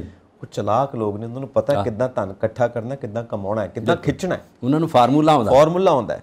ਔਰ ਉਹਨਾਂ ਨੇ ਇੰਨੇ ਖੂਬਸੂਰਤ ਘਰ ਬਣਾਏ ਹੋਏ ਨੇ। ਇੱਕ ਵਾਰੀ ਉਹਦੇ ਅੰਦਰ ਵੜ ਜਾਓ ਨਾ। ਕਹਿੰਦੇ ਨੇ ਕਿ ਬਾਹਰ ਦੀ ਦੁਨੀਆ ਭੁੱਲ ਹੀ ਜਾਂਦੀ ਹੈ। ਦੁਨੀਆ ਭਾਵੇਂ ਟੱਠੇ ਖੂਹ ਚ। ਹਾਂ। ਮੈਂ ਆਪਣਾ ਇੰਜੋਏ ਕਰਾਂ। ਸਹੀ ਗੱਲ ਸੋ ਉਹ ਇੰਨੇ ਸੋਹਣੇ ਘਰ ਬਣਾਏ ਨੇ ਉਹ ਤੋਂ ਬਾਹਰ ਆਉਣ ਨੂੰ ਉਹਨਾਂ ਦਾ ਜੀ ਨਹੀਂ ਕਰਦਾ। ਤੇ ਜਦੋਂ ਬਾਹਰ ਆਉਂਦੇ ਨੇ ਫਿਰ ਇੱਕ ਨਕਲੀ ਚਿਹਰਾ ਲਾ ਕੇ ਆਉਂਦੇ ਨੇ। ਤੁਹਾਨੂੰ ਮੈਂ ਦੱਸਦਾ ਤੁਹਾਡੀ ਗੱਲ ਸਹੀ ਆ। ਇਹ ਜਿਹੜੀ ਗੱਲ ਆ ਨਾ ਇਹ ਜਿਹੜੀ ਚੀਜ਼ਾਂ ਬਣਦੀਆਂ ਇਹ ਦੋ ਨੰਬਰ ਤੋਂ ਬਗੈਰ ਨਹੀਂ ਬਣਦੀਆਂ। ਗੁਰੂ ਨਾਨਕ ਬਾਣੀ 'ਚ ਇਹ ਹੈਗਾ ਕਿ ਪਾਪਾਂ ਬਾਜ ਨਾ ਹੋਏ ਇਕੱਠੀ ਤੇ ਮੋਇਆਂ ਸਾਥ ਨਾ ਜਾਈ ਪਾਪ ਦੇ ਬਗੈਰ ਇਕੱਠੀ ਨਹੀਂ ਹੁੰਦੀ ਜਿੰਨਾ ਵੀ ਪੈਸਾ ਹੁੰਦਾ ਨਾਰਮਲ ਜਿਹੜਾ ਹੈਗਾ ਤੁਸੀਂ ਕੰਮ ਕਰਕੇ ਸੋਸਾਇਟੀ 'ਚ ਜਿਹੜਾ ਹੈਗਾ ਰੋਟੀ ਤੱਕ ਰਹੋਗੇ ਕੱਪੜਿਆਂ ਤੱਕ ਰਹੋਗੇ ਇੱਕ ਛੱਤ ਬਣਾ ਲਓਗੇ। ਪਰ ਜਿਹੜੇ ਬੰਦੇ ਨੂੰ ਇੱਕ ਛੱਤ ਮਿਲ ਗਈ ਹੈ ਇੱਕ ਛੱਤ ਦੇ ਥੱਲੇ ਬੈਠਾ ਰਾਤ ਨੂੰ ਰੋਟੀ ਮਿਲਦੀ ਆ ਪਾਉਣ ਨੂੰ ਕੱਪੜਾ ਮਿਲਦਾ ਜੁੱਤੀ ਮਿਲਦੀ ਆ ਤਾਂ ਉਹਨੂੰ ਉਹਦੇ ਨਾਲ ਦੀ ਵੱਡੀ ਦਾਤ ਕੋਈ ਨਹੀਂ ਹੈਗੀ। ਪਰ ਜੇ ਅਸੀਂ ਹੁਣ ਕਹੀਏ ਕਿ ਸਾਡੇ ਕੋਲ ਵੱਡੀਆਂ ਕੋਠੀਆਂ ਹੋਣ ਤੇ ਪਲਾਟ ਸਾਡੇ ਟ੍ਰਾਂਟੋ ਤੱਕ ਹੋਣ, ਕੈਨੇਡਾ ਤੱਕ ਹੋਣ, ਪਰ ਫਿਰ ਮਨ ਬੰਦੇ ਦਾ ਮਨ ਨਹੀਂ ਭਰਦਾ। ਕਿਉਂਕਿ ਬੰਦੇ ਦੇ ਅੰਦਰ ਲਾਲਚ ਆਓ ਬੰਦੇ ਦੇ ਅੰਦਰ ਹੁੰਦਾ ਵੀ ਯਾਰ ਇੱਕ ਪਲਾਟ ਹੈ ਦੂਜਾ ਪਲਾਟ ਚੌਥਾ ਜੇ ਵਾਹਿਗੁਰੂ ਦਿੰਦਾ। ਪਰ ਸਾਨੂੰ ਸ਼ੁਕਰਾਨਾ ਕਰਨਾ ਚਾਹੀਦਾ ਦੋਵੇਂ ਟਾਈਮ ਤੇ ਗੁਰੂ ਸਾਹਿਬ ਜੇ ਤੁਸੀਂ ਸਾਨੂੰ ਕੁਝ ਦਿੱਤਾ ਇਸ ਤਰ੍ਹਾਂ ਸਾਰਿਆਂ ਦੀ ਝੋਲੀਆਂ ਪਰ ਸਰਬੱਤ ਦਾ ਭਲਾ ਕਰ। ਇਹ ਤਾਂ ਇੱਕ ਵਧੀਆ ਸੋਚ। ਪਰ ਜੇ ਅਸੀਂ ਇੰਡੀਵਿਜੂਅਲ ਸੋਚ ਵਿਅਕਤੀਗਤ ਸੋਚ ਤੇ ਆ ਗਏ ਤੇ ਫਿਰ ਤਾਂ ਮਾੜਾ ਹਾਲ ਆ। ਇੱਕ ਮੈਂ ਗੀਤ ਸੁਣ ਰਿਹਾ ਸੀ ਔਰ ਉਹ ਪੁਰਾਣਾ ਗੀਤ ਹੈ ਹਿੰਦੀ ਫਿਲਮ ਦਾ ਗੀਤ ਹੈ ਪਰ ਅੱਜ ਦੇ ਮਾਹੌਲ ਦੇ ਮੁਤਾਬਿਕ ਬੜਾ ਟੁਕਦਾ ਹੈ। ਉਦੋਂ ਵੀ ਟੁਕਦਾ ਸੀ ਤਾਂ ਹੀ ਕਿਸੇ ਨੇ ਲਿਖਿਆ ਹੋਣਾ। ਅੱਛਾ ਲਿਖਦੇ ਪੁਰਾਣਾ ਤਾਂ ਉਹਦੇ ਚ ਕੀ ਸੀ ਕਿਆ ਮਿਲੀਏ ਐਸੇ ਲੋਗੋं से जिनकी फितरत छुपी रहे आ? नकली चेहरा सामने आए आ? असली सूरत छुपी रहे। छुपी रहे। जिनके जुल्म से दुखी है जनता हर बस्ती हर गाँव में। क्या बात है। दया धर्म की बात करें वो बैठ के सजी सजा सभाओं में। सभाओं में हाँ, दया दा, दान का चर्चा घर घर पहुँचे। हाँ, लूट की दौलत छुपी रहे। वाह। हाँ, नकली चेहरा सामने आए। ਹਾਂ ਇਹ ਬੜਾ ਅੱਛਾ ਗਾਣਾ ਹੈ। ਬਹੁਤ ਵਧੀਆ ਲੱਗਿਆ ਕਿਸ਼ੋਰ ਕੁਮਾਰ ਦੀ ਆਵਾਜ਼ ਚ ਸ਼ਾਇਦ ਹੈ ਨਹੀਂ ਇਹ ਰਫੀ ਸਾਹਿਬ ਦੀ ਆਵਾਜ਼ ਰਫੀ ਸਾਹਿਬ ਦੀ ਆਵਾਜ਼ ਹਾਂ। ਸੋ ਦਾਨ ਦਾ ਚਰਚਾ ਘਰ ਘਰ ਪਹੁੰਚੇ ਲੂਟ ਕੀ ਦੌਲਤ ਛੁਪੀ ਰਹੇ। ਨਕਲੀ ਚਿਹਰਾ ਸਾਹਮਣੇ ਆਏ ਅਸਲੀ ਸੂਰਤ ਛੁਪੀ ਰਹੇ। ਉਹਨਾਂ ਪਾਏ ਹੈ ਬਿਲਕੁਲ ਤੇ ਪਾਏ ਮਖੌਟੇ ਅੰਦਰੋਂ ਸੋਚ ਹੋ ਰਿਹਾ ਬਾਹਰੋਂ ਦੇਖਣ ਲਈ ਕੁਝ ਹੋਰ ਰਿਹਾ। ਬੰਦੇ ਨੂੰ ਸਮਝਣਾ ਵੀ ਬੜਾ ਔਖਾ ਹੁੰਦਾ। ਪਰ ਜਿਹੜੇ ਸਾਊ ਬੰਦੇ ਆ ਜਿਹੜੇ ਅੱਛੇ ਸਵਾਦ ਦੇ ਬੰਦੇ ਆ ਉਹਨਾਂ ਦਾ ਪਤਾ ਲੱਗ ਜਾਂਦਾ ਕਿਉਂਕਿ ਚਿਹਰੇ ਦਾ ਔਰਾ ਚਿਹਰੇ ਦੀ ਦਿੱਖ ਸਾਈਕੋਲੋਜੀ ਦੱਸਦੀ ਹੈ ਕਿ ਮਨੋਵਿਗਿਆਨਕ ਜਿਹੜੇ ਸਾਇੰਸਦਾਨ ਉਹ ਦੱਸਦੇ ਆ। ਕਿ ਬੰਦੇ ਦੇ ਚਿਹਰੇ ਤੋਂ ਦੀ ਗੱਲਬਾਤ ਤੋਂ ਤੁਹਾਨੂੰ ਪਤਾ ਲੱਗ ਜੂਗਾ, ਉਹਦੀ ਅਕਲ ਫਿਕਰ ਤੋਂ, ਉਹਦੀ ਬਾਡੀ ਲੈਂਗੁਏਜ ਤੋਂ ਪਤਾ ਲੱਗ ਜੂਗਾ। ਜਿਹੜਾ ਬੰਦਾ ਥੋੜਾ ਜਿਹਾ ਮੰਦਾ ਕਾਲਾ ਹੋਊਗਾ, ਉਹ ਕਈ ਵਾਰੀ ਝਿਜਕੂਗਾ ਗੱਲ ਕਰਨ ਤੇ, ਖੁੱਲੀ ਗੱਲ ਕਰੂਗਾ ਨਾ, ਹਾ ਹਾ ਹਾ, ਬਾ ਬਾ ਬਾ ਕਰੂਗਾ ਬਾਬਾ ਬਾ ਕਰੂਗਾ, ਰੁਕੂਗਾ, ਉਹ ਫੰਬਲਿੰਗ ਕਰੂਗਾ। ਪਰ ਜਿਹੜਾ ਬੰਦਾ ਸਪਸ਼ਟ ਸਾਫ਼ ਹੈਗਾ, ਉਹ ਜਿੰਨੀ ਵੀ ਗੱਲ ਮੂੰਹ ਤੇ ਆਈ, ਉਹ ਕਰੂਗਾ ਗੱਲ। ਜਿਹੜਾ ਬੰਦਾ ਗੱਲ ਲੁਕਾਉਂਦਾ ਵਾ, ਜਿਹੜਾ ਬੰਦੇ ਦੇ ਅੰਦਰ ਕੋਈ ਮਾੜੀ ਭਾਵਨਾ, ਉਹ ਹੈ, ਜਿਹਨੂੰ ਕਹਿੰਦੇ ਆਪਾਂ ਪੰਜਾਬੀ 'ਚ ਦਿਲ ਦਾ ਕਾਲਾ। ਦਿਲ ਦੇ ਕਾਲੇ ਬੰਦੇ ਦੇ ਅੰਦਰ ਉਹ ਕਈ ਕੁਝ ਛੁਪਿਆ ਹੁੰਦਾ। ਪਰ ਉਹਨੂੰ ਇਹ ਨਹੀਂ ਪਤਾ ਇਹ ਜੀਵਨ ਅਨਮੋਲ ਹੈ। ਇਹ ਮੁੜ ਕੇ ਨਹੀਂ ਮਿਲਣਾ। ਜੇ ਮਿਲਿਆ ਤੈਨੂੰ ਤਾਂ ਕੋਈ ਚੰਗੀ ਗੱਲ ਕਰ ਚੰਗਾ ਭਲਾ ਕਰ। ਜਿਸ ਤਰ੍ਹਾਂ ਗੁਰੂ ਸਾਹਿਬ ਕਹਿ ਗਏ ਆ ਜਿਸ ਤਰ੍ਹਾਂ ਬਾਣੀ ਕਹਿ ਰਹੀ ਹੈ ਜਿਸ ਤਰ੍ਹਾਂ ਸਾਰੇ ਧਰਮ ਕਹਿ ਰਹੇ ਆ ਉਸੇ ਤਰ੍ਹਾਂ ਹੀ ਕਰਨਾ ਚਾਹੀਦਾ। ਉਸੇ ਤਰ੍ਹਾਂ ਹੀ ਹੈ। ਬਿਲਕੁਲ ਸਹੀ ਗੱਲ ਹੈ। ਸਾਡੇ ਵਾਸਤੇ ਕੀ ਹੈ ਨਾ। ਗੁਰੂ ਸਾਹਿਬ ਨੂੰ ਆਪ ਨੂੰ ਥੋੜਾ ਲੋੜ ਸੀਗੀ ਕਿ ਇਹ ਮੈਂ ਗ੍ਰੰਥ ਲਿਖਾਂ ਆਪਣੇ ਵਾਸਤੇ। ਜੀਵਨ ਜਾਚ ਦੱਸੀ ਆਪਣੇ ਵਾਸਤੇ ਥੋੜਾ ਲਿਖਿਆ ਉਹਨਾਂ ਨਵੀਂ ਜੀਵਨ ਜਾਚ ਦੱਸੀ। ਸਾਡੇ ਵਾਸਤੇ ਲਿਖਿਆ। ਆਪ ਤਾਂ ਉਹ ਅੰਦਰੋਂ ਚਾਨਣ ਨੇ। ਬਿਲਕੁਲ। ਪਰਮੇਸ਼ਵਰ ਦਾ ਰੂਪ ਨੇ ਅੰਦਰੋਂ ਹੀ ਸਭ ਕੁਝ ਜਾਣਦੇ ਨੇ। ਇਹ ਤਾਂ ਸਾਡੇ ਵਾਸਤੇ ਲਿਖਿਆ ਸਾਨੂੰ ਮਤ ਦੇਣ ਵਾਸਤੇ ਲਿਖਿਆ ਕਿ ਭਾਈ ਆਹ ਦੇਖੋ ਇਹ ਮੈਂ ਸਾਰਾ ਗਿਆਨ ਤੁਹਾਨੂੰ ਦੇ ਰਿਹਾ ਇਹਦੇ ਮੁਤਾਬਿਕ ਚੱਲੋ। ਤਾਂ ਜੀਵਨ ਦੇ ਅਰਥ ਸਮਝ ਆਉਣਗੇ ਤਾਂ ਜੀਵਨ ਸਮਝ ਆਉਣਾ ਹੈ, ਤਾਂ ਪਤਾ ਲੱਗਣਾ ਪਰਮੇਸ਼ਵਰ ਸਾਡੇ ਕੋਲੋਂ ਕੀ ਚਾਹੁੰਦਾ ਹੈ। ਤੁਸੀਂ ਇਹ ਦੇਖੋ ਕਿ ਜੋ ਗੁਰੂ ਸਾਹਿਬ ਨੇ ਲਿਖਿਆ। ਅਸੀਂ ਨਤਮਸਤਕ ਹੁੰਨੇ ਹਾਂ ਅਸੀਂ ਸਿਰ ਝੁਕਾਉਂਦੇ ਹਾਂ ਪਰ ਅਪਣਾਉਂਦੇ ਕਿਉਂ ਨਹੀਂ? ਬਹੁਤ ਘੱਟ ਲੋਕ ਅਪਣਾਉਂਦੇ ਨੇ। ਜਿਸ ਤਰ੍ਹਾਂ ਤੁਸੀਂ ਗੱਲ ਕਰ ਰਹੇ ਹੋ ਜਿਸ ਤਰ੍ਹਾਂ ਨਾ ਜਪਜੀ ਸਾਹਿਬ ਗੁਰੂ ਗ੍ਰੰਥ ਸਾਹਿਬ ਦੋ ਜਪਜੀ ਸਾਹਿਬ ਤੋਂ ਸ਼ੁਰੂ ਹੁੰਦਾ ਔਰ ਜਪਜੀ ਸਾਹਿਬ ਨੂੰ ਸਾਰੀ ਬਾਣੀ ਦੀ ਕੁੰਜੀ ਕਿਹਾ ਗਿਆ। ਦੋ ਸ਼ਲੋਕ ਹੈ ਲਾਸਟ ਸ਼ਲੋਕ ਜਿਹੜਾ ਨਾ ਪਵਨ ਗੁਰੂ ਪਾਣੀ ਪਿਤਾ ਮਾਤਾ ਤਰਤ ਮਹਤ ਦਿਵਸ ਰਾਤ ਦੁਈ ਦਾਈ ਦਾਇਆ ਖੇਲੇ ਸਗਲ ਜਗਤ ਚੰਗਾਈਆਂ ਬਰਿਆਈਆਂ ਵਾਚੇ ਧਰਮ ਹਦੂਰੇ ਕਰਮੀ ਆਪੋ ਆਪਣੀ ਕਿਆ ਨੇੜੇ ਕਿਆ ਦੂਰ ਜਿਨੀ ਨਾਮ ਤੇ ਆਇਆ ਗਏ ਮੁਸ਼ਕਤ ਕਾਲ ਨਾਨਕ ਤੇ ਮੁਖ ਉਜਲੇ ਕੀਤੀ ਛੁੱਟੀ ਨਾਲ। ਕਿੰਨੀ ਵੱਡੀ ਸੋਚ ਹੈ। ਪਵਨ ਗੁਰੂ ਪਾਣੀ ਪਿਤਾ ਹੈ। ਮਾਤਾ ਤਰਤ ਮਾਤ, ਕਿੰਨੀ ਵੱਡੀ ਗੱਲ ਕਹੀ ਹੈ। ਫਿਰ ਵੀ ਸਾਡੀ ਸੋਚ ਤੋਂ ਕਿੰਨੀ ਅਸੀਂ ਦੂਰ ਚਲੇ ਜਾਂਦੇ ਹਾਂ। ਗੁਰੂ ਸਾਹਿਬ ਨੇ ਕਹਿਤਾ ਕਿ ਇਹਦੇ ਵਿੱਚ ਹੀ ਹੈ। ਇਹੀ ਰਾਤ ਦਿਨ ਚ ਅਸੀਂ ਖੇਡਦੇ ਹਾਂ, ਦਾਈ ਵਾਂਗੂ ਸਾਨੂੰ ਖੜਾ ਰਹੇ ਆ। ਦਿਨ ਰਾਤ ਬਤੀਤ ਹੋ ਰਹੇ ਆ। ਇਹੀ ਹੈ, ਦਿਵਸ ਰਾਤ ਦੂਈ ਦਾਈ ਦਾਇਆ ਖੇਲੇ ਸਗਲ ਜਗਤ। ਕਿੰਨੀਆਂ ਵੱਡੀਆਂ ਗੱਲਾਂ ਜੋ ਗੁਰੂ ਸਾਹਿਬ ਨੇ ਕਿਹਾ। ਇਸ ਸ਼ਲੋਕ ਨੂੰ ਅਸੀਂ ਜੇ ਪੱਲੇ ਬੰਨ ਲਈਏ ਇਹਦੀ ਇਹਦੇ ਸਰਲਾ ਅਰਥ ਇਹਦੀ ਵਿਆਖਿਆ ਚੱਜ ਨਾਲ ਸੁਣ ਲਈਏ, ਤੇ ਬੜੀ ਵੱਡੀ ਗੱਲ ਹੈ। ਜੇ ਅਸੀਂ ਸੋਚੀਏ ਤਦੇ ਕਰਕੇ ਜਪਜੀ ਸਾਹਿਬ ਦੇ ਜਿੰਨੇ ਸ਼ਲੋਕ ਜਿੰਨੀਆਂ ਪੌੜੀਆਂ ਜਿੰਨਾ ਉਹ ਚ ਇਹੀ ਕਿਹਾ ਗਿਆ ਕਹੀਏ ਸੁਣੀਏ ਹੈ ਨਾ ਆਖਿਆ ਵੇਖਿਆ ਇਹਦੇ ਚ ਇਹੀ ਹੈ ਸੁਣੀਏ ਸਿੱਧ ਪੀਰ ਸੁਰਨਾਥ ਸੁਣੀਏ ਤਰਤਾ ਵਾਲਾ ਕਾਜ ਸੁਣੀਏ ਦੀਪ ਲੋ ਪਤਾਲ ਹੈ ਨਾ ਨਾਨਕ ਭਗਤਾ ਸਦਾ ਵਿਕਾਸ ਸੁਣੀਏ ਦੁੱਖ ਪਾਪ ਕਾ ਨਾਸ਼। ਇਹਦੇ ਵਿੱਚ ਇਹ ਗੱਲਾਂ ਨੇ। ਇਹ ਸਾਨੂੰ ਸਮਝਣੀਆਂ ਚਾਹੀਦੀਆਂ ਸਾਰੇ ਮੈਂ ਇਹ ਸੋਚਦਾ ਕਿ ਜਦੋਂ ਅਸੀਂ ਰੰਗਲੇ ਪੰਜਾਬ ਦੀ ਗੱਲ ਕਰਦੇ ਹਾਂ ਜਦੋਂ ਅਸੀਂ ਪੰਜਾਬ ਦੇ ਵਿਜ਼ਨ ਦੀ ਗੱਲ ਕਰਦੇ ਹੂੰ ਸਾਡੇ ਅੰਦਰ ਉਹ ਇਮੇਜਿਨੇਸ਼ਨ ਕਿਉਂ ਨਹੀਂ ਆਉਂਦਾ? ਉਹ ਤਸਵੀਰਾਂ ਕਿਉਂ ਨਹੀਂ ਆਉਂਦੀਆਂ? ਸਹੀ ਗੱਲ। ਜਦੋਂ ਤੁਸੀਂ ਬਾਣੀ ਦੀ ਗੱਲ ਕਰਦੇ ਹੋ ਹਾਂ। ਜਦੋਂ ਬਾਬਾ ਜੀ ਜਪਜੀ ਸਾਹਿਬ ਦੀ ਤੁਸੀਂ ਗੱਲ ਕੀਤੀ ਹਾਂ।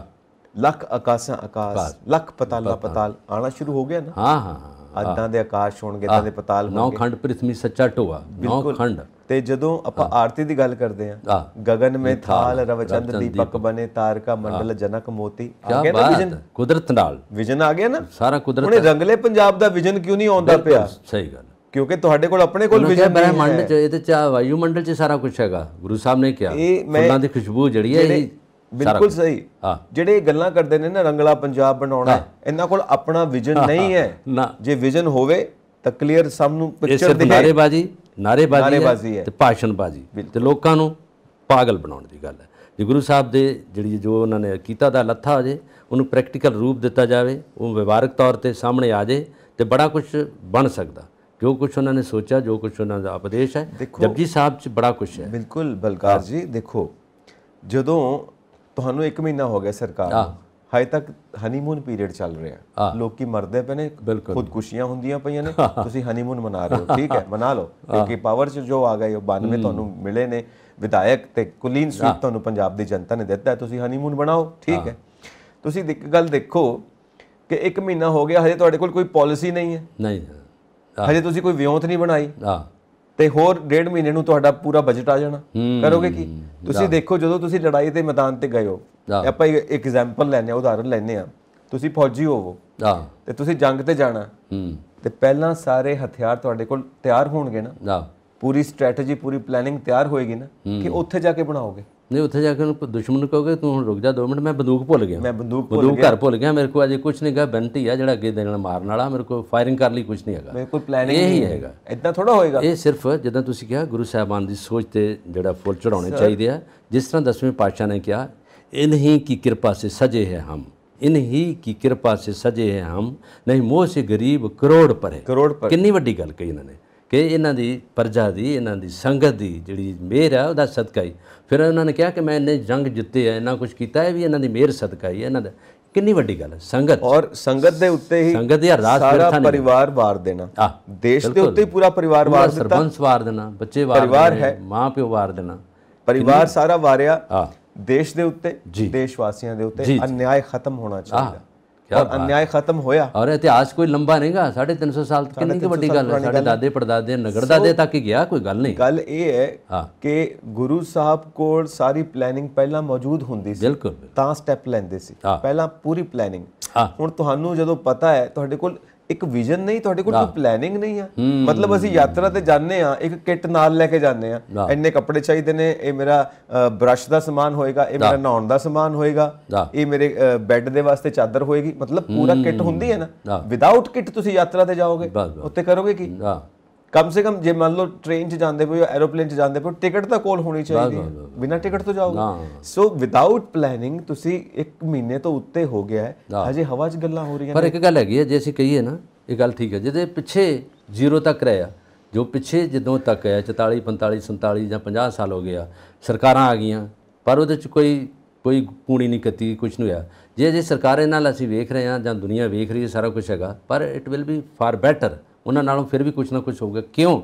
ਕਿਉਂ ਹੋਊਗਾ? ਕਿ ਕਿਉਂਕਿ ਉਹਨੂੰ ਪਤਾ ਵੀ ਪਿੱਛੇ ਤਾਂ ਯਾਰ ਸਾਰੀਆਂ ਖੁਰਲੀਆਂ ਮੂਦੀਆਂ ਪਈਆਂ ਤੇ ਡੰਗਰ ਵਿਚਾਰੇ ਭੁੱਖੇ ਤੁਰੇ ਫਿਰਦੇ ਰਹੇ ਸੀ। ਪਰ ਹੁਣ ਅਸੀਂ ਉਸ ਹਿਸਾਬ ਨਾਲ ਜਨਤਾ ਦਾ ਭਲਾ ਕਰਨਾ ਪੈਣਾ ਸਾਨੂੰ। ਕੁਝ ਨਾ ਕੁਝ ਸਹੂਲਤਾਂ ਦੇਵਾਂਗੇ ਤਾਂ ਤਾਂ ਦੀ ਗੱਲ ਬਣੂ। ਕਿਉਂ? ਇਸ ਕਰਕੇ ਕਿ ਪਿਕਚਰ ਨਜ਼ਰ ਆ ਰਹੀ ਹੈ। ਕਿਉਂਕਿ ਉਹ ਅੱਗੇ ਤਾਂ ਹਨੇਰੇ 'ਚ ਖੇਡਦੇ। ਸੀ। ਉਹ ਇਸ ਕਰਕੇ ਖੇਡਦੇ। ਦੋ ਸਰ, ਦੋ ਪਾਰਟੀਆਂ ਹੈ ਨਾ। ਡਬਲ ਪਾਰਟੀ ਨਾ, ਇੱਕ ਆ ਗਈ, ਇੱਕ ਚਲੀ ਗਈ, ਇੱਕ ਆ ਗਈ। ਤੇ ਜਿਹੜੀ ਦੂਜੀ ਪਾਰਟੀ, ਰੂਲਿੰਗ ਪਾਰਟੀ, ਉਹਦਾ ਨਾਂ ਨਹੀਂ ਸੀ ਲੈਂਦੀ ਦੂਜੀ ਪਾਰਟੀ ਦਾ, ਜਿਹੜੀ ਗਈ ਆ। ਉਹਨੂੰ ਪਤਾ ਇਹਨੇ ਫਿਰ ਆ ਜਾਣਾ। ਇੱਕ ਮੁੱਕੀ ਚੁੱਕ ਲਾ, ਦੂਜੀ ਨੂੰ ਤਿਆਰੇ, ਫਿਰ ਮੇਰੇ ਤੇ ਕੋਈ ਨਾ ਕੋਈ ਗੱਲ ਕਰੂ। ਹੁਣ ਜੇ ਇਨਕਸ਼ਾਫ ਹੋਇਆ, ਜੇ ਪਰਦਾਫਾਸ਼ ਹੋਇਆ, ਇਸੇ ਕਰਕੇ ਹੋਇਆ ਕਿ ਤੀਜੀ ਪਾਰਟੀ ਆ, ਇਹ ਹੁਣ ਗੱਲ ਕਰ ਰਹੀ ਆ। ਜੇ ਇਸੇ ਥਾਂ ਤੇ ਦੂਜੀ ਉਹੀ ਰੂਲਿੰਗ ਪਾਰਟੀ ਇੱਕ ਆ ਗਈ, ਉਹ ਬੋਲਦੇ ਤੇ ਇਹ ਨਾ ਹੁੰਦਾ ਕਦੀ ਵੀ। ਇਸ ਕਰਕੇ ਸਾਰਾ ਕੁਝ ਰੌਲਾ ਪੈ ਗਿਆ। ਹੁਣ ਇਸੇ ਕਰਕੇ ਐਜੀਟੇਸ਼ਨ ਕਿਉਂ ਹੋ ਰਹੀ ਹੈ ਇਸੇ ਕਰਕੇ ਟਵੀਟ ਕਿਉਂ ਹੋ ਰਿਹਾ? ਕਿਉਂਕਿ ਉਹਨਾਂ ਕੋਲ ਹੱਥ ਵੇਲੇ ਆ, ਕੰਮ ਕੋਈ ਹੈ ਨਹੀਂ। ਕੰਮ ਹੈ ਨਹੀਂ ਤਾਂ ਉਹਨਾਂ ਨੂੰ ਇਹ ਹੁੰਦਾ, ਵਿਰੋਧੀ ਪਾਰਟੀ ਦਾ ਇੱਕ ਬਣਦਾ ਉਹਨਾਂ ਕਰਨਾ ਹੁੰਦਾ, ਉਹ ਸਾਰਾ ਕੁਝ ਪਰ ਹੁਣ ਕਿਸਾਨ ਇਸ ਪਾਸੇ ਲਾ ਦਿੱਤੇ ਜਾਂਦੇ ਕਈ ਵਾਰੀ, ਉਹਨਾਂ ਕੋ ਬੜੇ ਕੰਮ ਆ, ਕਿਸਾਨ ਕੋ ਕਿਸਾਨ ਕੋ ਇਸ ਵੇਲੇ ਫਸਲ ਆ, ਕਿਉਂਕਿ ਸੌਣੀ ਦੀ ਫਸਲ ਆ ਗਈ ਹੈ ਨਾ, ਝੋਨਾ ਬੀਜਣਾ ਉਹਨਾਂ ਨੇ ਪੰ- ਪੰਜੀਰੀ ਬੀਜਣੀ ਆ, ਬੀਜੀ ਪਈ ਆ, ਪਰ ਉਹ ਹੁਣ ਵੱਡੀ ਹੋ ਰਹੀ ਆ, ਹੁਣ ਉਹਨਾਂ ਨੇ ਕੱਦੂ ਕਰਨੇ ਆ, ਝੋਨਾ ਲਾਉਣਾ ਵਾ, ਸਾਰਾ ਕੁਝ ਆ, ਪਾਣੀ ਦਾ ਵੀ ਖਿਆਲ ਉਹਨਾਂ ਨੂੰ। ਪਰ ਐਜੀਟੇਸ਼ਨ ਵਾਲੇ ਪਾਸੇ ਲਾਗੋ ਤਾਂ ਫਿਰ ਪੈਦਾਵਾਰ ਘਟੂਗੀ। ਜਿਸ ਤਰ੍ਹਾਂ ਹੁਣ ਕਣਕਾਂ ਸੁੱਕ ਗਈਆਂ, ਕਿਸਾਨ ਦਾ ਤਾਂ ਇਹ ਕਨਸੈਂਟਰੇਸ਼ਨ ਚਾਹੀਦੀ ਆ, ਉਹਨੂੰ ਉੱਥੇ ਆਪਣਾ ਟਾਈਮ ਦੇਣਾ ਚਾਹੀਦਾ, ਕੰਮ ਕਰੂਗਾ ਤਾਂ ਤਦ ਹੀ ਹੈਗਾ। ਜੇ ਸਾਡਾ ਕਿਸਾਨ ਹੀ ਐਜੀਟੇਸ਼ਨ ਚ ਰਿਹਾ, ਅੱਗੇ ਤਿੰਨ- ਅੱਗੇ ਡੇਢ ਸਾਲ ਦਾ ਰਿਹਾ, ਤਾਂ ਕਿੰਨੀ ਆਪਾਂ ਖਤਾ ਖਾਦਾ ਇਸ ਗੱਲ 'ਚ, ਕਿੰਨੀ ਪੈਦਾਵਾਰ ਘਟ ਗਈ ਹੈ। ਘੱਟੋ ਘੱਟ ਕਿਸਾਨ ਤੇ ਮਜ਼ਦੂਰ, ਇਹ ਨਹੀਂ ਜਾਣੇ ਚਾਹੀਦੇ। ਜਦੋਂ ਅਮਰੀਕਾ 'ਚ ਰੈਵੋਲੂਸ਼ਨ ਆਈ ਹੈ, ਕਿਸਾਨ ਮਜ਼ਦੂਰੀ ਇਕੱਠੇ ਹੋਏ, ਅਦਾਰੇਦਾਰੀ ਨੂੰ ਤੋੜਨ ਲਈ, ਜਿ- ਜਿਹਦੇ 'ਚ ਸਾਰੀ, ਜਿਹੜੇ 'ਚ ਸਰਮਾਏਦਾਰੀ ਨੂੰ ਤੋੜਨ ਲਈ। ਫਰਾਂਸ 'ਚ ਵੀ ਹੋਇਆ, ਰਸ਼ੀਆ 'ਚ ਵੀ ਲੈਨਨ ਦੇ ਟਾਈਮ ਤੇ ਇਹ ਵੀ ਹੋਇਆ। ਕੋਈ ਵੀ ਇਤਿਹਾਸ ਫੋਲ ਲਓ। ਕਾਰਲ ਮਾਰਕਸ ਦੀ ਜਿਹੜੀ ਥਿਊਰੀ ਪੜ੍ਹ ਲਓ।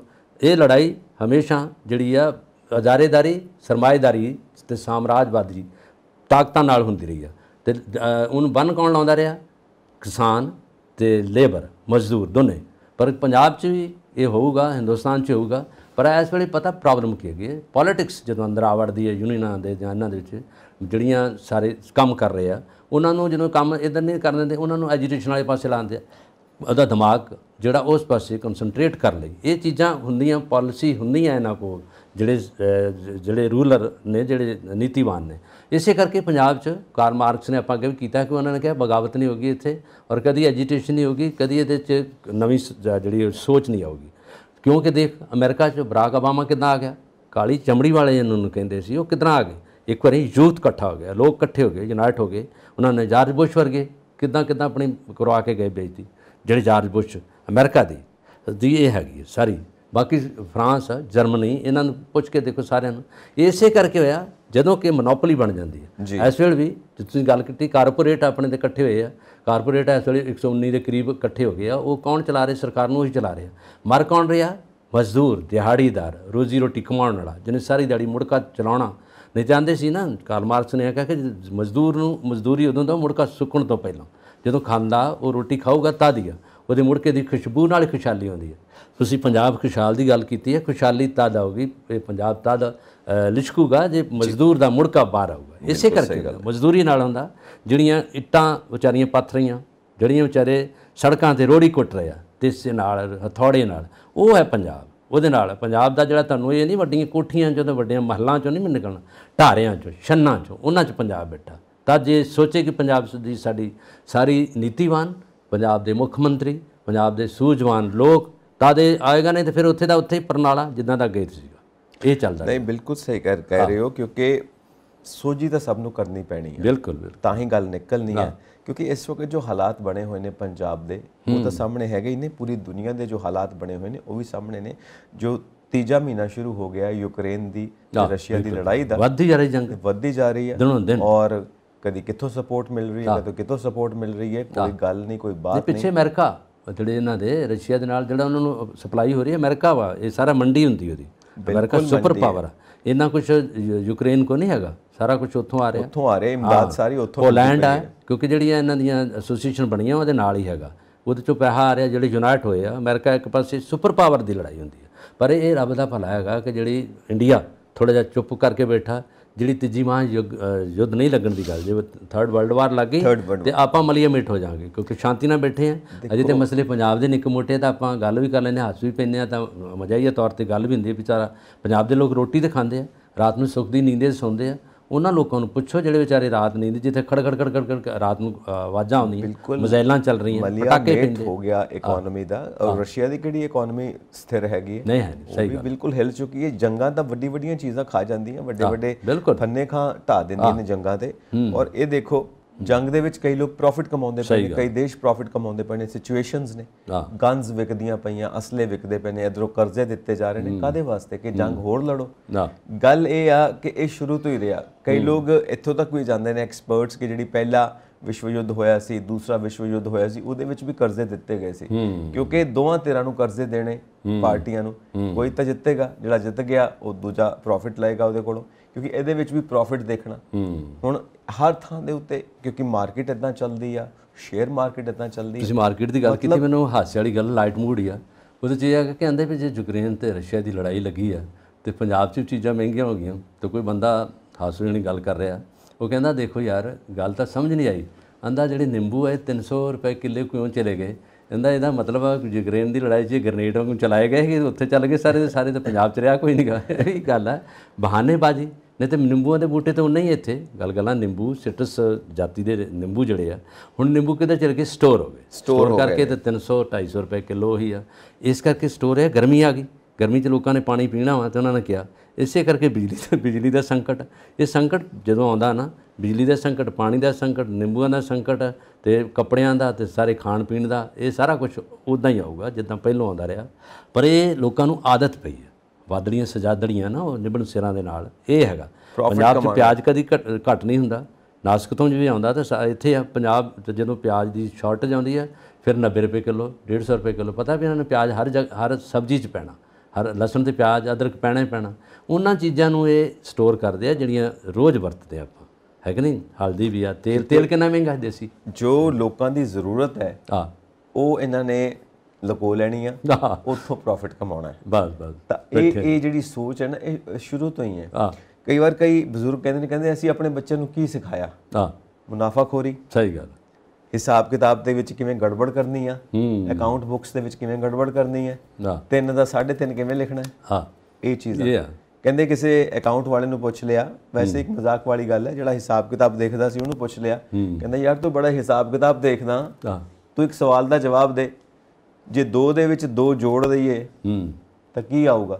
ਨਾ। ਸਾਰੇ ਹੱਸਣ ਲੱਗ ਪਏ ਕਹਿੰਦੇ ਯਾਰ ਇਹ ਕੀ ਸਵਾਲ ਇਹਨੂੰ ਪੁੱਛਦਾ ਪਿਆ। ਬੱਚਿਆਂ ਵਾਲੀਆਂ ਗੱਲਾਂ ਕਰਦਾ ਪਿਆ ਐਡਾ ਵੱਡਾ ਹਿਸਾਬ ਕਿਤਾਬ ਕਰਨ ਵਾਲਾ ਬੰਦਾ ਐਡਾ ਮਾਹਿਰ ਬੰਦਾ। ਤੇ ਆ ਕੀ ਸਵਾਲ ਪੁੱਛਿਆ? ਕਹਿੰਦਾ ਭਾਜੀ ਰਹਿਣ ਦਿਓ। ਜਵਾਬ ਨਾ ਦਈਓ ਇਹਦੀ ਗੱਲ ਦਾ। ਆ ਇਹ ਤਾਂ ਐਵੇਂ ਹੀ ਕਹਿੰਦਾ ਨਹੀਂ ਨਹੀਂ ਜਵਾਬ ਤਾਂ ਮੇਰਾ ਦੇਣਾ ਬਣਦਾ। ਜਦੋਂ ਇਹਨੇ ਸਵਾਲ ਪੁੱਛਿਆ ਤੇ ਜਵਾਬ ਤਾਂ ਮੇਰਾ ਦੇਣਾ ਬਣਦਾ। ਹੈ। ਹਾਂ ਮੈਂ ਜਵਾਬ ਦੇਣਾ। ਕਹਿੰਦਾ ਸਵਾਲ ਕੀ ਹੈ ਜੀ? ਦੁਬਾਰਾ ਪੁੱਛੋ ਤਾਂ। ਹੂੰ। ਕਹਿੰਦਾ ਜੀ 2 ਦੇ ਵਿੱਚ ਜੇ 2 ਜੋੜ ਦਈਏ ਤਾਂ ਕਿੰਨੇ ਆਉਂਦੇ ਨੇ? ਕਹਿੰਦਾ ਇਹ ਛੋੜੋ ਇਹ ਛੱਡ ਦਿਓ ਕਿੰਨੇ ਆਉਂਦੇ ਨੇ? ਤੁਸੀਂ ਬਣਵਾਉਣੇ ਕਿੰਨੇ ਨੇ ਇਹ ਦੱਸੋ। ਦਾ ਤੁਹਾਨੂੰ ਜ਼ਰੂਰਤ ਕਿੰਨੀ ਬਣਾਉਣ ਦੀ? ਅਸੀਂ ਦੋ ਦੇ ਵਿੱਚ ਦੋ ਜੋੜ ਕੇ ਨਾ ਉਹਨੇ ਬਣਾ ਦਾਂਗੇ ਜਿੰਨੇ ਤੁਹਾਨੂੰ ਚਾਹੀਦੇ ਨੇ। ਸੋ ਇਹ ਅਸੀਂ ਸਿਖਾਇਆ। ਹੇਰਾ ਫੇਰੀਆਂ ਮੁਨਾਫਾਖੋਰੀ। ਹੁਣ ਜਿਹੜਾ ਧੰਦੇ ਤੇ ਬਿਠਾਉਂਦੇ ਨੇ ਗੱਲੇ ਤੇ ਬਿਠਾਉਣਾ ਜੀ ਆਪਣੇ ਬੱਚੇ ਨੂੰ। ਹੁਣ ਧੰਦੇ ਤੇ ਬਿਠਾ ਕੇ ਗੱਲੇ ਤੇ ਬਿਠਾ ਕੇ ਬਰੀਕੀਆਂ ਸਮਝਾਉਂਦੇ ਪਏ ਬਰੀਕੀਆਂ ਕੀ ਸਮਝਾਉਣੀਆਂ ਨੇ? ਆਹੀ। ਜਿਹੜੇ ਫੇਰੀ ਕਿਵੇਂ ਕਰਨੀ ਭੇਦ ਆ ਜਿਹੜੇ ਅੰਦਰ ਦੇ ਭੇਜ ਆ। ਹੇਰਾ ਫੇਰੀ ਕਿਵੇਂ ਜਿੰਨੀ ਮਰਜ਼ੀ ਜਿੰਨੇ ਮਰਜ਼ੀ ਇੱਥੇ ਇਦਾਂ ਦਾ ਦੁਰਦਸ਼ਾ ਹੋ ਜੇ ਜਿੰਨਾ ਮਰਜ਼ੀ ਮਹਿੰਗਾ ਹੋ ਜੇ ਕੁਛ ਪਰ ਫਿਰ ਵੀ ਗੁਰੂ ਕਾ ਲੰਗਰ ਅਟੁੱਟ ਵਰਤਣਾ ਇੱਥੇ ਉਸੇ ਤਰ੍ਹਾਂ ਹੀ ਆ। ਤੁਸੀਂ ਪੰਜਾਬ 'ਚ ਰੋਟੀ ਤੋਂ ਭੁੱਖਾ ਕੋਈ ਨਹੀਂ ਮਰਦਾ। ਇਹ ਤਾਂ ਡਾਟਾ ਸਾਡਾ। 24 ਘੰਟੇ ਪੰਜਾਬ ਦੇ ਵਿੱਚ ਭੁੱਖਮਰੀ ਦਾ ਕੋਈ ਨਹੀਂ ਲੱਖ ਯਾਤਰੂ ਦਰਬਾਰ ਸਾਹਿਬ 골ਡਨ ਟੈਂਪਲ ਹਰਿਮੰਦਰ ਸਾਹਿਬ ਆਉਂਦੇ ਆ ਔਰ ਉੱਥੇ ਨਤਮਸਤਕ ਹੁੰਦੇ ਆ ਦਰਗਾਣਾ ਮੰਦਰ ਸਾਹਿਬ ਮੱਥਾ ਟੇਕਦੇ ਆ ਔਰ ਲੰਗਰ ਸਾਰੀ ਜਗ੍ਹਾ ਇਹੀ ਹੈ ਪੰਜਾਬ ਦੀ ਧਰਤੀ ਤੇ। ਕਦੇ ਵੀ ਕੋਈ ਭੁੱਖਾ ਕੱਪੜੇ ਤੋਂ ਬਗੈਰ ਜਾਂ ਕਿਸੇ ਤੋਂ ਨਹੀਂ ਜਾਂਦਾ ਕਿਉਂਕਿ ਪੰਜਾਬੀਆਂ ਨੂੰ ਤੇ ਇੱਕ ਇਹ ਵੀ ਫਿਤਰਤ ਹੈ ਇਹਨਾਂ ਕੋਈ ਇੱਕ ਕੁਆਲਿਟੀ ਹੈ ਕਿਤੇ ਪੰਜਾਬ 'ਚ ਨਹੀਂ ਬਾਹਰ ਵੀ ਕਿਤੇ ਕੋਈ ਵਿਪਤਾ ਪੈਂਦੀ ਆ ਲੋਕ ਵਿਚਾਰੇ ਦੁਖੀ ਹੋ ਜਾਂਦੇ ਆ ਤੇ ਪੰਜਾਬੀ ਉੱਥੇ ਇਕੱਠੇ ਹੋ ਜਾਂਦੇ ਆ।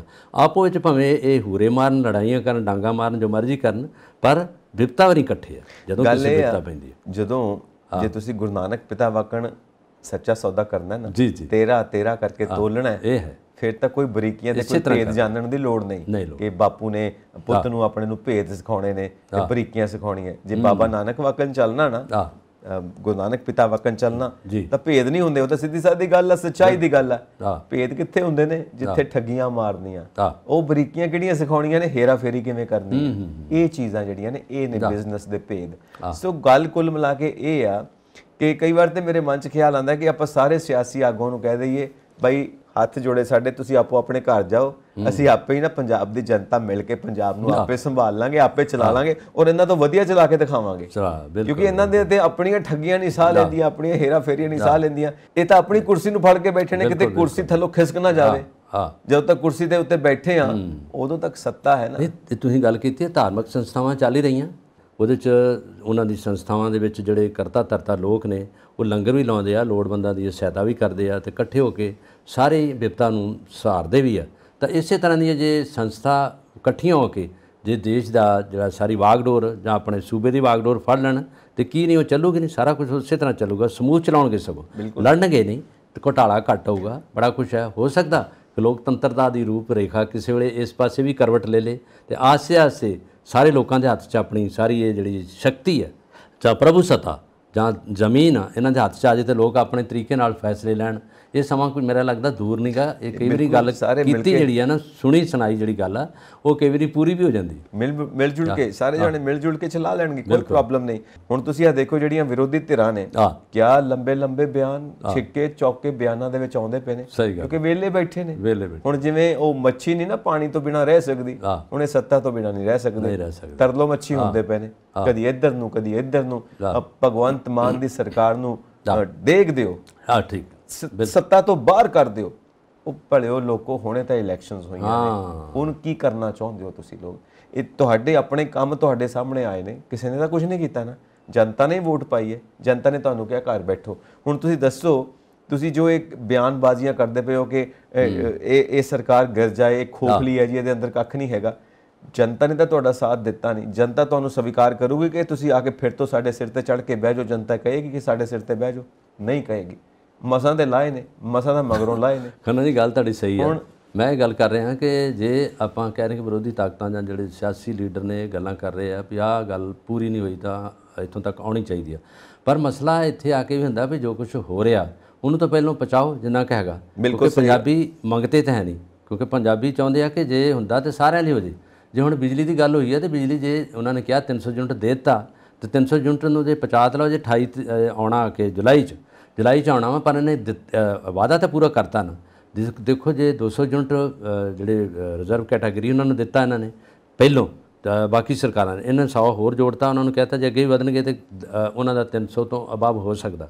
ਜਿਹੜੀ ਜਨਰਲ ਕੈਟਾਗਰੀ ਇਹਨਾਂ ਨੂੰ 300 ਯੂਨਿਟ ਦਿੱਤਾ, ਕਿਉਂਕਿ ਇਹ ਬੰਦੇ ਅਸਰ ਸੂਕ ਵਾਲੇ ਆ, ਇੰਨੇ ਕਿ ਕੈਪੇਬਿਲਿਟੀ ਹੈਗੀ ਇਹਨਾਂ ਕੋਲ, ਇਹ ਬਿੱਲ ਥੋੜਾ ਬਹੁਤ ਦੇ ਸਕਦੇ ਆ। ਜਿਹਦੇ ਵਿੱਚ ਇਹਨਾਂ ਨੇ ਇੱਕ ਐਵਰੇਜ ਕੱਢੀ ਹੈ ਕਿ 72% ਜਿੰਨੇ ਲੋਕ ਆ, ਉਹ ਅੱਗੇ ਆਲਰੇਡੀ ਇਸ ਕੈਟਾਗਰੀ 'ਚ ਹੈਗੇ ਆ। ਇਹਨਾਂ ਨੇ ਕੈਲਕੂਲੇਟ ਕਰ ਲਿਆ। ਪਰ ਹੁਣ ਇਹਨੂੰ ਰੌਲਾ ਪਾਉਣ ਦਾ ਮਤਲਬ ਇਹ ਸੀਗਾ ਕਿ ਸਾਰਿਆਂ ਨੂੰ ਇੱਕ ਵਾਰੀ ਇਕੱਠੇ ਕਰਕੇ ਸੜਕਾਂ ਤੇ ਕੱਢ ਦਿਓ। ਪਰ ਇਹ ਹੈਗਾ ਕਿ ਇਹਨੇ ਇੱਕ ਕੰਮ ਤਾਂ ਨਵਾਂ ਕਰ ਦਿੱਤਾ ਨਾ, ਕਿਉਂਕਿ ਜਨਰਲ ਕੈਟਾਗਰੀ ਨੂੰ ਇਹਨਾਂ ਦੇ ਦਿੱਤਾ, ਜਦੋਂ ਕਿ ਉਹਨਾਂ ਨੂੰ ਬਹੁਤੀ ਲੋੜ ਨਹੀਂ ਹੁੰਦੀ, ਕਿਉਂਕਿ ਲੋਕ ਖਾਉਂਦੇ, ਖਾਂਦੇ ਕਮਾਉਂਦੇ ਸਾਰਾ ਕੁਝ ਹੈਗਾ।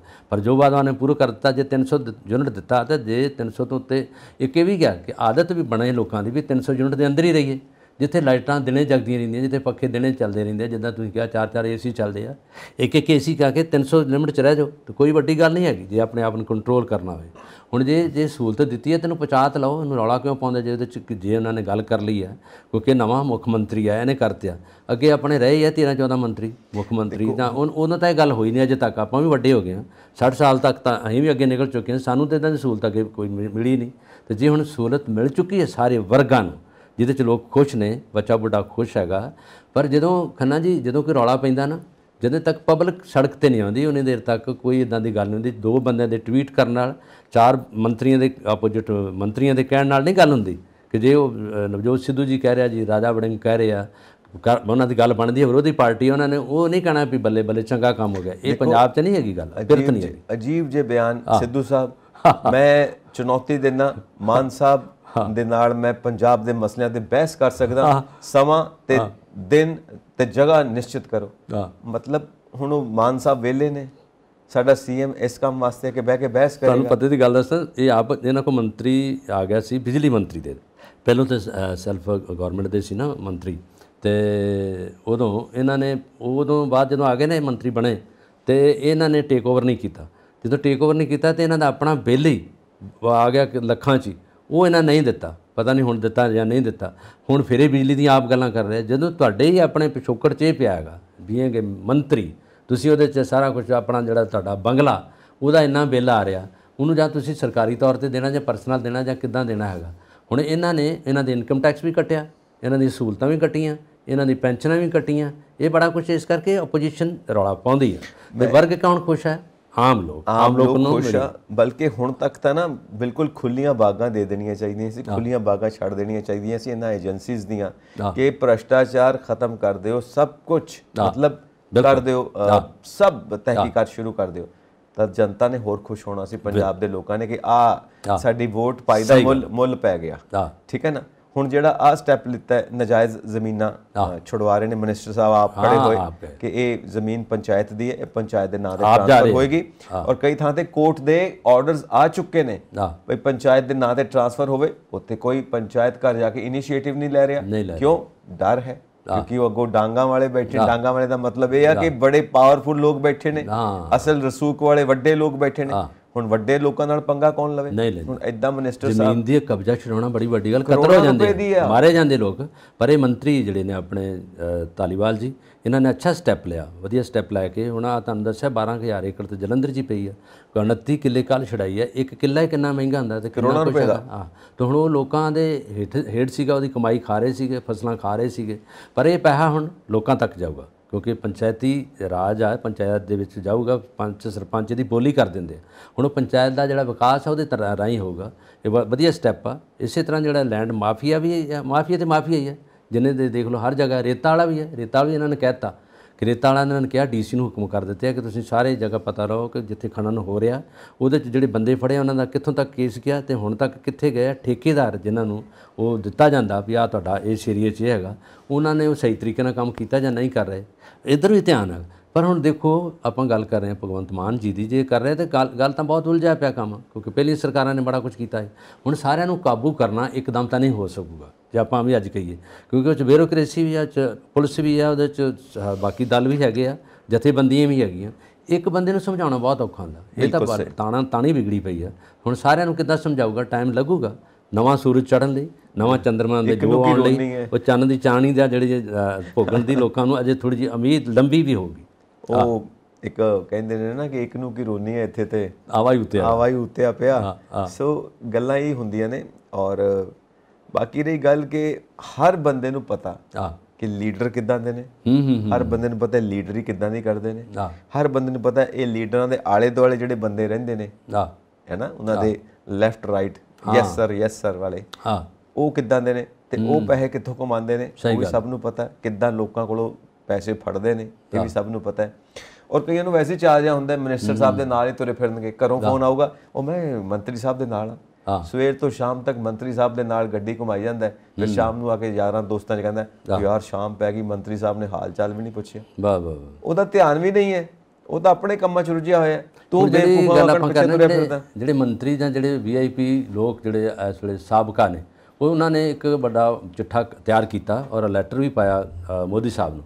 ਕਿ ਜਿਹੜੀ ਖਮੋਸ਼ੀ ਹੈ ਕਿਉਂ ਖਮੋਸ਼ੀ ਹੋ ਗਈ? ਖਾਮੋਸ਼ੀ ਕਿਉਂ ਖਮੋਸ਼ੀ ਜਿਹੜੀ ਹੈ ਜ਼ਿਆਦਾ ਮਾੜੀ ਹੁੰਦੀ ਹੈ। ਤੁਸੀਂ ਤੁਹਾਨੂੰ ਪਤਾ ਕਿ ਸਾਰੇ ਹਿੰਦੁਸਤਾਨ 'ਚ ਕੀ ਸਾਬੋਟਾਜ ਹੋਇਆ? ਕਿੱਥੇ ਬਲਡੋਜ਼ਰ ਚੱਲੇ ਕੀ ਕੁਝ ਹੋਇਆ? ਔਰ ਕਿੱਥੇ ਘੱਟ ਗਿਣਤੀਆਂ ਨੂੰ ਇੱਕ ਸਾਈਡ ਤੇ ਲਾ ਕੇ ਤੇ ਐਜੀਟੇਸ਼ਨਾਂ ਹੋਈਆਂ। ਉਹਨਾਂ ਨੇ ਇਹ ਕਿਹਾ ਕਿ ਤੁਸੀਂ ਇਹ ਚੁੱਪ ਤੋੜੋ ਤੇ ਜਿੱਥੇ ਖੁਸ਼ਹਾਲ ਜਿੱਥੇ ਖੁਸ਼ਹਾਲ ਹਿੰਦੁਸਤਾਨ ਬਣਾਉਣਾ ਜਿੱਥੇ ਵਸਦਾ ਹਿੰਦੁਸਤਾਨ ਰੱਖਣਾ ਤੇ ਇਹਦੇ ਤੇ ਥੋੜੀ ਤਵੱਜੋ ਦਿਓ ਤੇ ਉਹਨਾਂ ਲੋਕਾਂ ਦਾ ਬਚਾਓ ਕਰੋ ਜਿੱਥੇ ਬਲਡੋਜ਼ਰ ਚੱਲਿਆ ਜਿੱਥੇ ਲੋਕਾਂ ਦੇ ਦਾ ਏਰੀਆ ਸੀਗਾ ਇਹਦੇ ਚ ਰਾਜਸਥਾਨ ਚ ਉੱਥੇ ਚੱਲਿਆ। ਰਾਜਸਥਾਨ ਵਿੱਚ ਰਾਜਸਥਾਨ ਚ। ਹੁਣ ਉਹਨਾਂ ਨੇ ਇਹ ਲੋਕ ਵੀਆਈਪੀ ਆ ਜਿਹੜੇ ਸੈਕਟਰੀ ਰਹੇ ਆ ਬੜਾ ਕੁਝ ਰਹੇ ਆ ਉਹਨਾਂ ਨੇ ਇਹ ਮਸਲਾ ਅੱਗੇ ਉਠਾਇਆ। ਤੇ ਬਾਕੀ ਤੁਸੀਂ ਦੱਸੋ ਹੁਣ ਅੱਗੇ ਕੀ ਕਰਨਾ। ਬਸ ਅੱਗੇ ਤਾਂ ਇਹ ਹੈ ਕਿ ਆਪਣੇ ਜਾਣ ਦਾ ਹੋ ਗਿਆ ਸਮਾਂ। ਵਾਹ। ਤੇ ਬਸ ਮੁੱਕਦੀ ਗੱਲ ਇਹ ਹਾਂ। ਕਿ ਜੋ ਸਾਡਾ ਸੰਵਿਧਾਨ ਹੈ ਉਹਦਾ ਆਧਾਰ ਹੈ ਹਿਊਮਨ ਰਾਈਟਸ ਮਨੁੱਖੀ ਅਧਿਕਾਰ ਕੀ ਨੇ?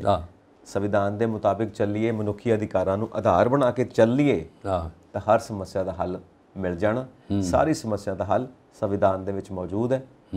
ਮਨੁੱਖੀ ਅਧਿਕਾਰਾਂ ਦੀ ਜੋ ਪੇਸ਼ਕਾਰੀ ਵੀ ਕਰਨੀ ਹੈ ਤੇ ਉਹਦੇ ਮੁਤਾਬਿਕ ਤੁਰਨਾ ਵੀ ਹੈ ਉਹਦੇ ਮੁਤਾਬਿਕ ਕੰਮ ਵੀ ਕਰਨੇ ਨੇ ਤਾਂ ਮਸਲੇ ਆਪਣੇ ਆਪ ਹੱਲ ਹੋ ਜਾਣੇ ਨੇ। ਆ ਵਿਛੜਨ ਦਾ ਵਕਤ ਆ ਗਿਆ। ਸਮੇਂ ਦੇ ਜ਼ੋਰ ਤੇ। ਪਰ ਸਮਾਂ ਸਮਰੱਥ ਹੁੰਦਾ। ਸਮਾਂ ਸਮਾਂ ਸਮੇਂ ਨਾਲ ਸਾਰਾ ਕੁਝ ਵਾਪਰ ਜਾਂਦਾ। ਔਰ ਇਸੇ ਤਰ੍ਹਾਂ ਮੇਰੇ ਖਿਆਲ ਦਰਸ਼ਕਾਂ ਦੇ ਨਾਲ ਅਸੀਂ ਅੱਗੇ ਜਾ ਕੇ ਮਿਲਾਂਗੇ। ਤੇ ਹੁਣ ਇਹਨਾਂ ਕੋਲ ਲੈਨੇ ਆਪਾਂ ਇਜਾਜ਼ਤ। ਹਾਂਜੀ। ਤੇ ਸਤਿ ਸ੍ਰੀ ਅਕਾਲ ਸਤਿ ਸ਼੍ਰੀ ਅਕਾਲ ਜੀ।